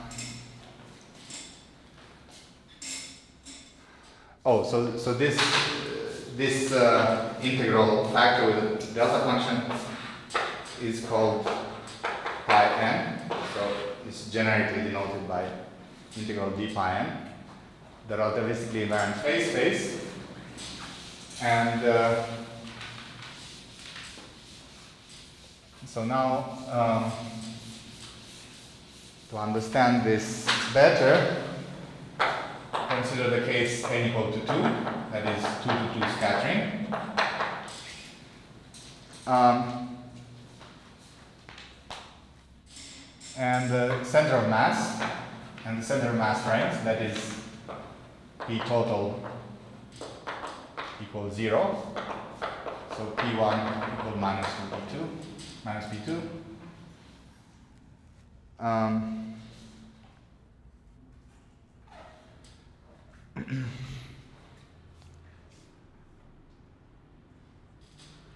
um, and then also K1 equal minus K2. Or, or rather I should say like this, k1 is equal to minus k2, and then delta 3, um, so the, the, the spatial part of the momentum, uh, of the momentum conservation is delta of k, um, right, ka plus kb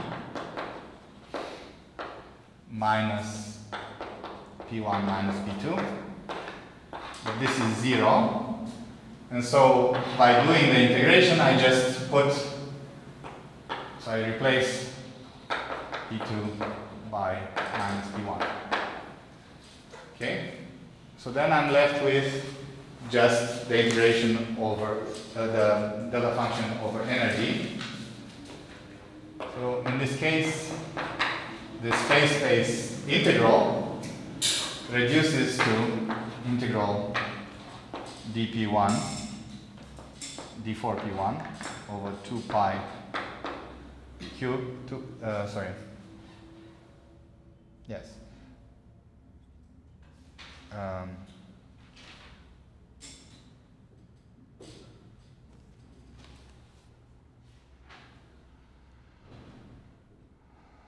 um, sorry, did 3p1 2 pi cubed, and then um,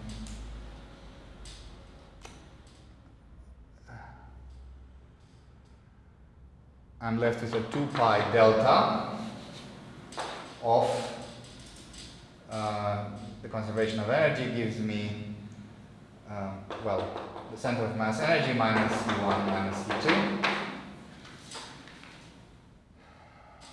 And then this one I write it as integral over the modulus times P1 squared times d omega. Moreover, I had 1 over 2e1, 2e2.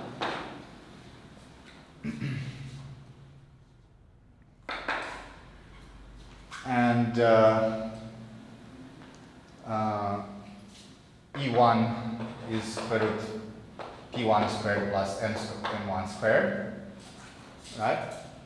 So again, the delta function is delta of P1 minus uh, P1 0, let's say it like this. Uh, divided by the derivative of this with respect to P1, which is uh, P1 over E1.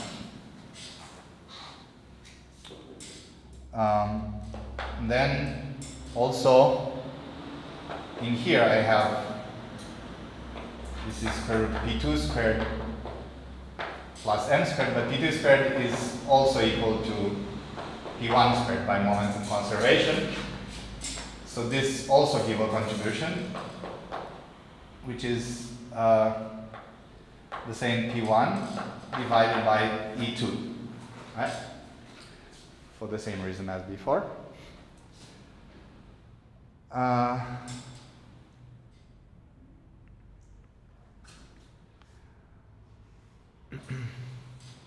so, the result of our integration now that I can do the integral over P1 uh, trivially is uh, integral over d omega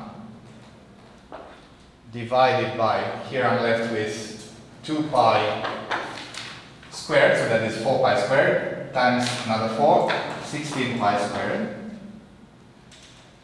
And then p1 squared divided by E1, E2, and then P1 over E1 plus P1 over E2. Um, that's it. And so I can cancel 1 P1 with this. And then the product in here is just P1 plus E2, which is the center of mass energy. So this is integral d omega over 16 pi squared E uh, center of mass energy and P1. Yeah. Okay?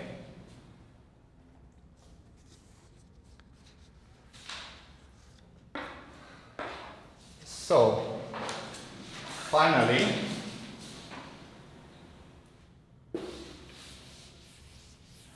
we arrive at the fact that in the center of mass frame,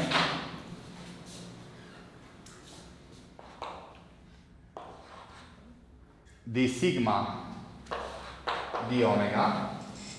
So remember I calculated here the sigma and then I have an integral of the omega, but if I restrict the sigma to correspond to a given d omega, I can divide by it and have d sigma d omega in the center of mass frame. Uh, so this is for 2 to 2 scattering. Right? it's what? This is uh, 1 over 2a, 2ea, 2eb, va minus vb.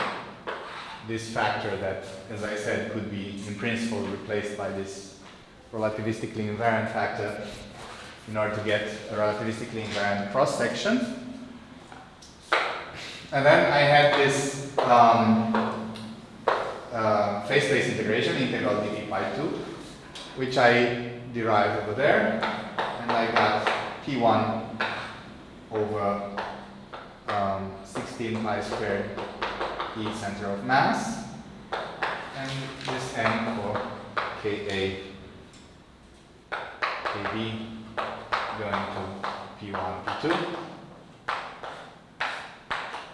squared. Okay. uh, and moreover, it's also useful to consider the case where um, uh, all the particles have the same mass.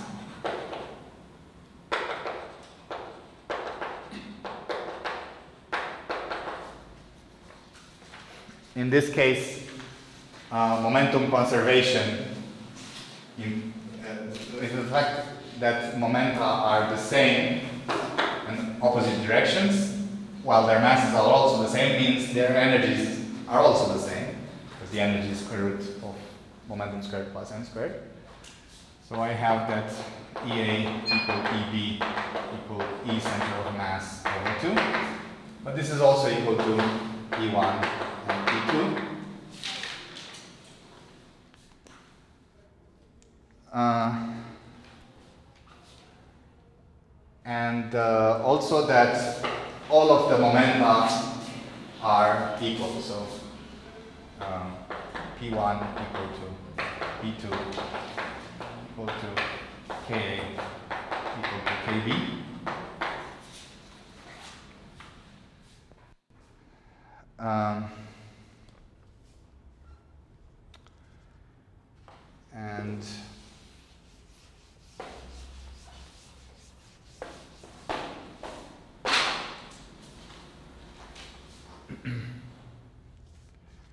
and then 2EA, 2EB, VA minus VB. This is 4, um, as we said, this was uh, EB KA minus VA KB.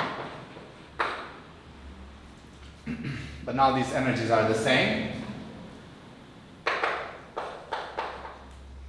Ka minus Kb. And then 4 times Eb, but this is equal to 2 center of mass energy. And then Ka and Kb, Kb are equal and opposite, so this is 2 uh, K, Ka if you want, but also the same as 2P1. Right? This thing is then 4E center of mass energy times P1.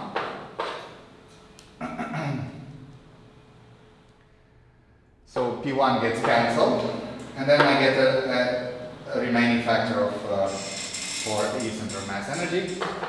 So d sigma d omega center of mass energy is 1 over uh, 64 pi squared E center of mass energy squared times this m squared.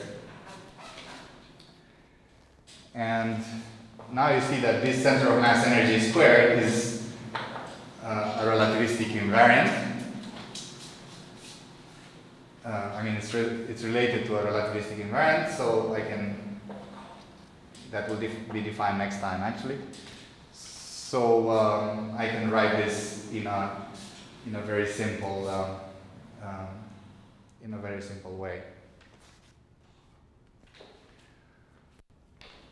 Okay.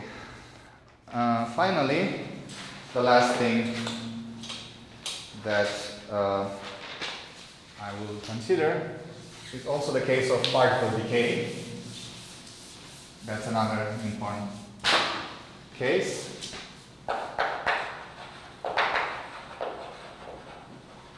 So, as I said, the most relevant cases are for an in initial um, two particles, which was what we did until now, or initial one particle, in which case it decays. Um, so really, yeah, I should have kept formulas on Blackboard, but it's not enough space. So um, we had in our result for the 2 to n scattering, we had integral Ka, Kb, K bar A, K bar B. Right?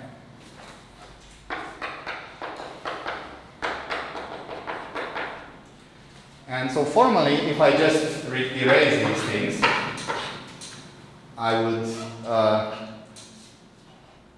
I would uh, um, I would just get back to the one to n case. This is A and B. If I drop the B, I just get back to the uh, particle decay case. And of course also drop this phi A modulus squared. But you see, uh, the absence of this integral means that there will be an absence of this uh, kb bar z integral, which gave, gave us this 1 over vb minus va fact, factor. Right? So there was an integral of k bar bz of a delta function that gave us this factor. So that is gone now. And so um, the only thing that we do get is uh, uh,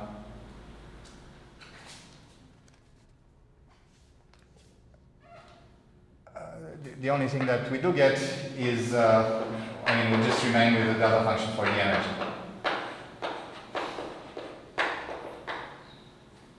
And then basically um, everything follows.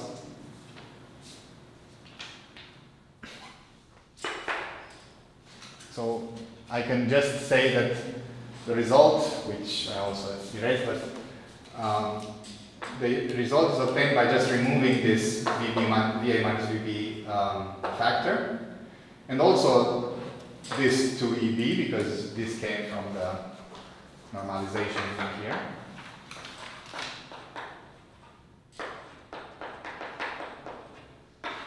So these factors are also gone. And then EA, the relevant case for particle decay is when it sits at rest. Right? So EA then is MA. That's the relevant uh, case. So, uh, so then this decay rate becomes 1 over, I will have 2EA, but this is now 2MA. Then this uh,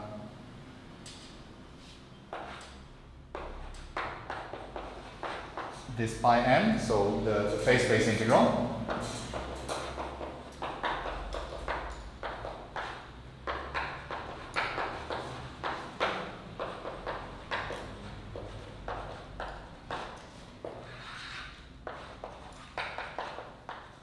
Okay, I have the integral d pi n.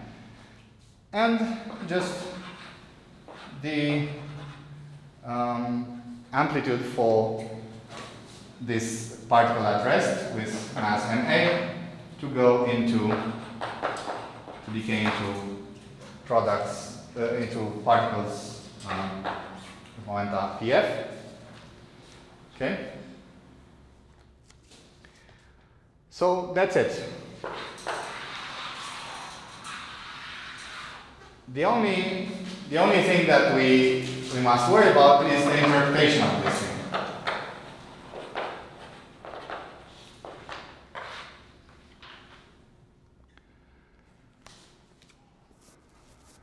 Uh, specifically, the reason I say this is because for particle decay, it's a little bit unclear what it means since the particle is unstable.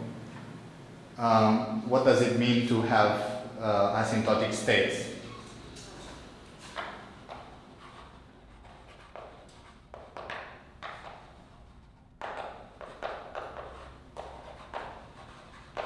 You see?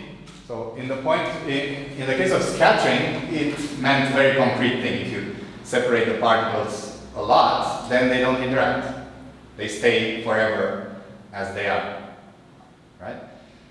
Uh, so the concept of free states makes sense, but this doesn't make sense because now it's only one particle, there's not more, and yet it's still interacting all the time by decaying with certain probability.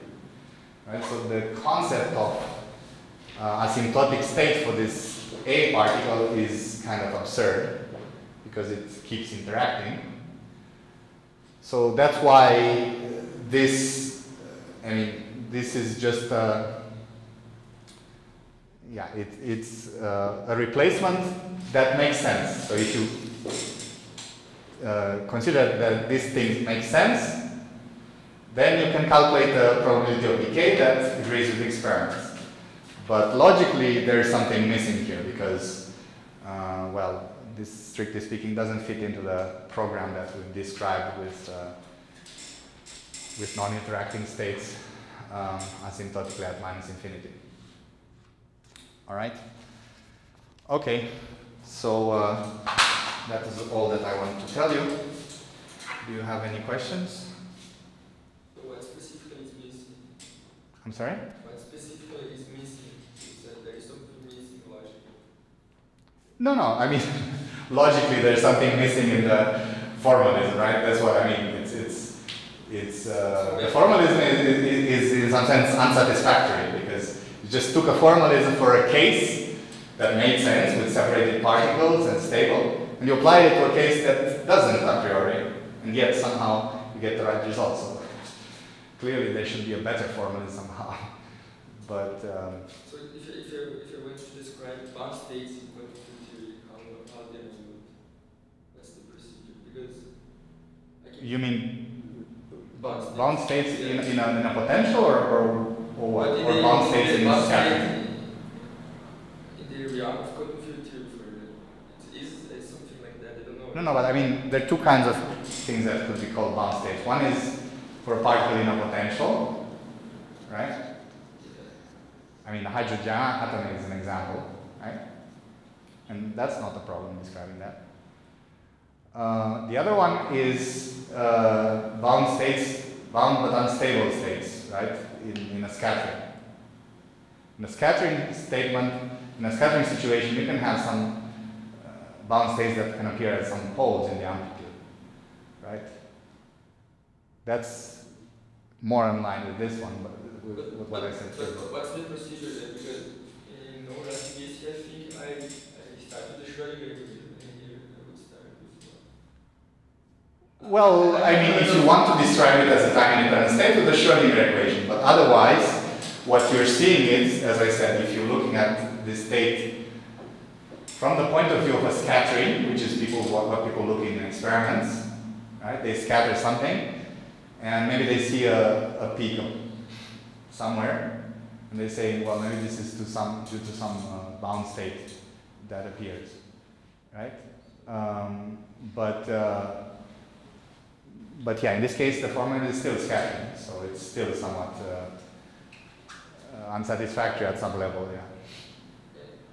I, I haven't re- read about, but uh, that's a bigger equation that you can describe. about. But I didn't, I don't know, Ye- know something about this. Well, yeah, yeah, but I mean, again, it depends what what you what you want to describe, right? So. So if you want to describe, let's say, a, a traditional bound state in a, in a, in a potential, then um, then you can you can find a more regular rigorous formalism. Right? You can describe that potential and try to compute quantum corrections and so on. But if you want to describe it in terms of a scattering, then um, you can write something formal and you know calculate the bound state. What I'm saying is the uh, interpretation, like in this case, it's, it's a little bit uh, un, unsatisfactory because the thing is not asymptotic. Doesn't really exist for an infinite amount of time. It's the same problem. really.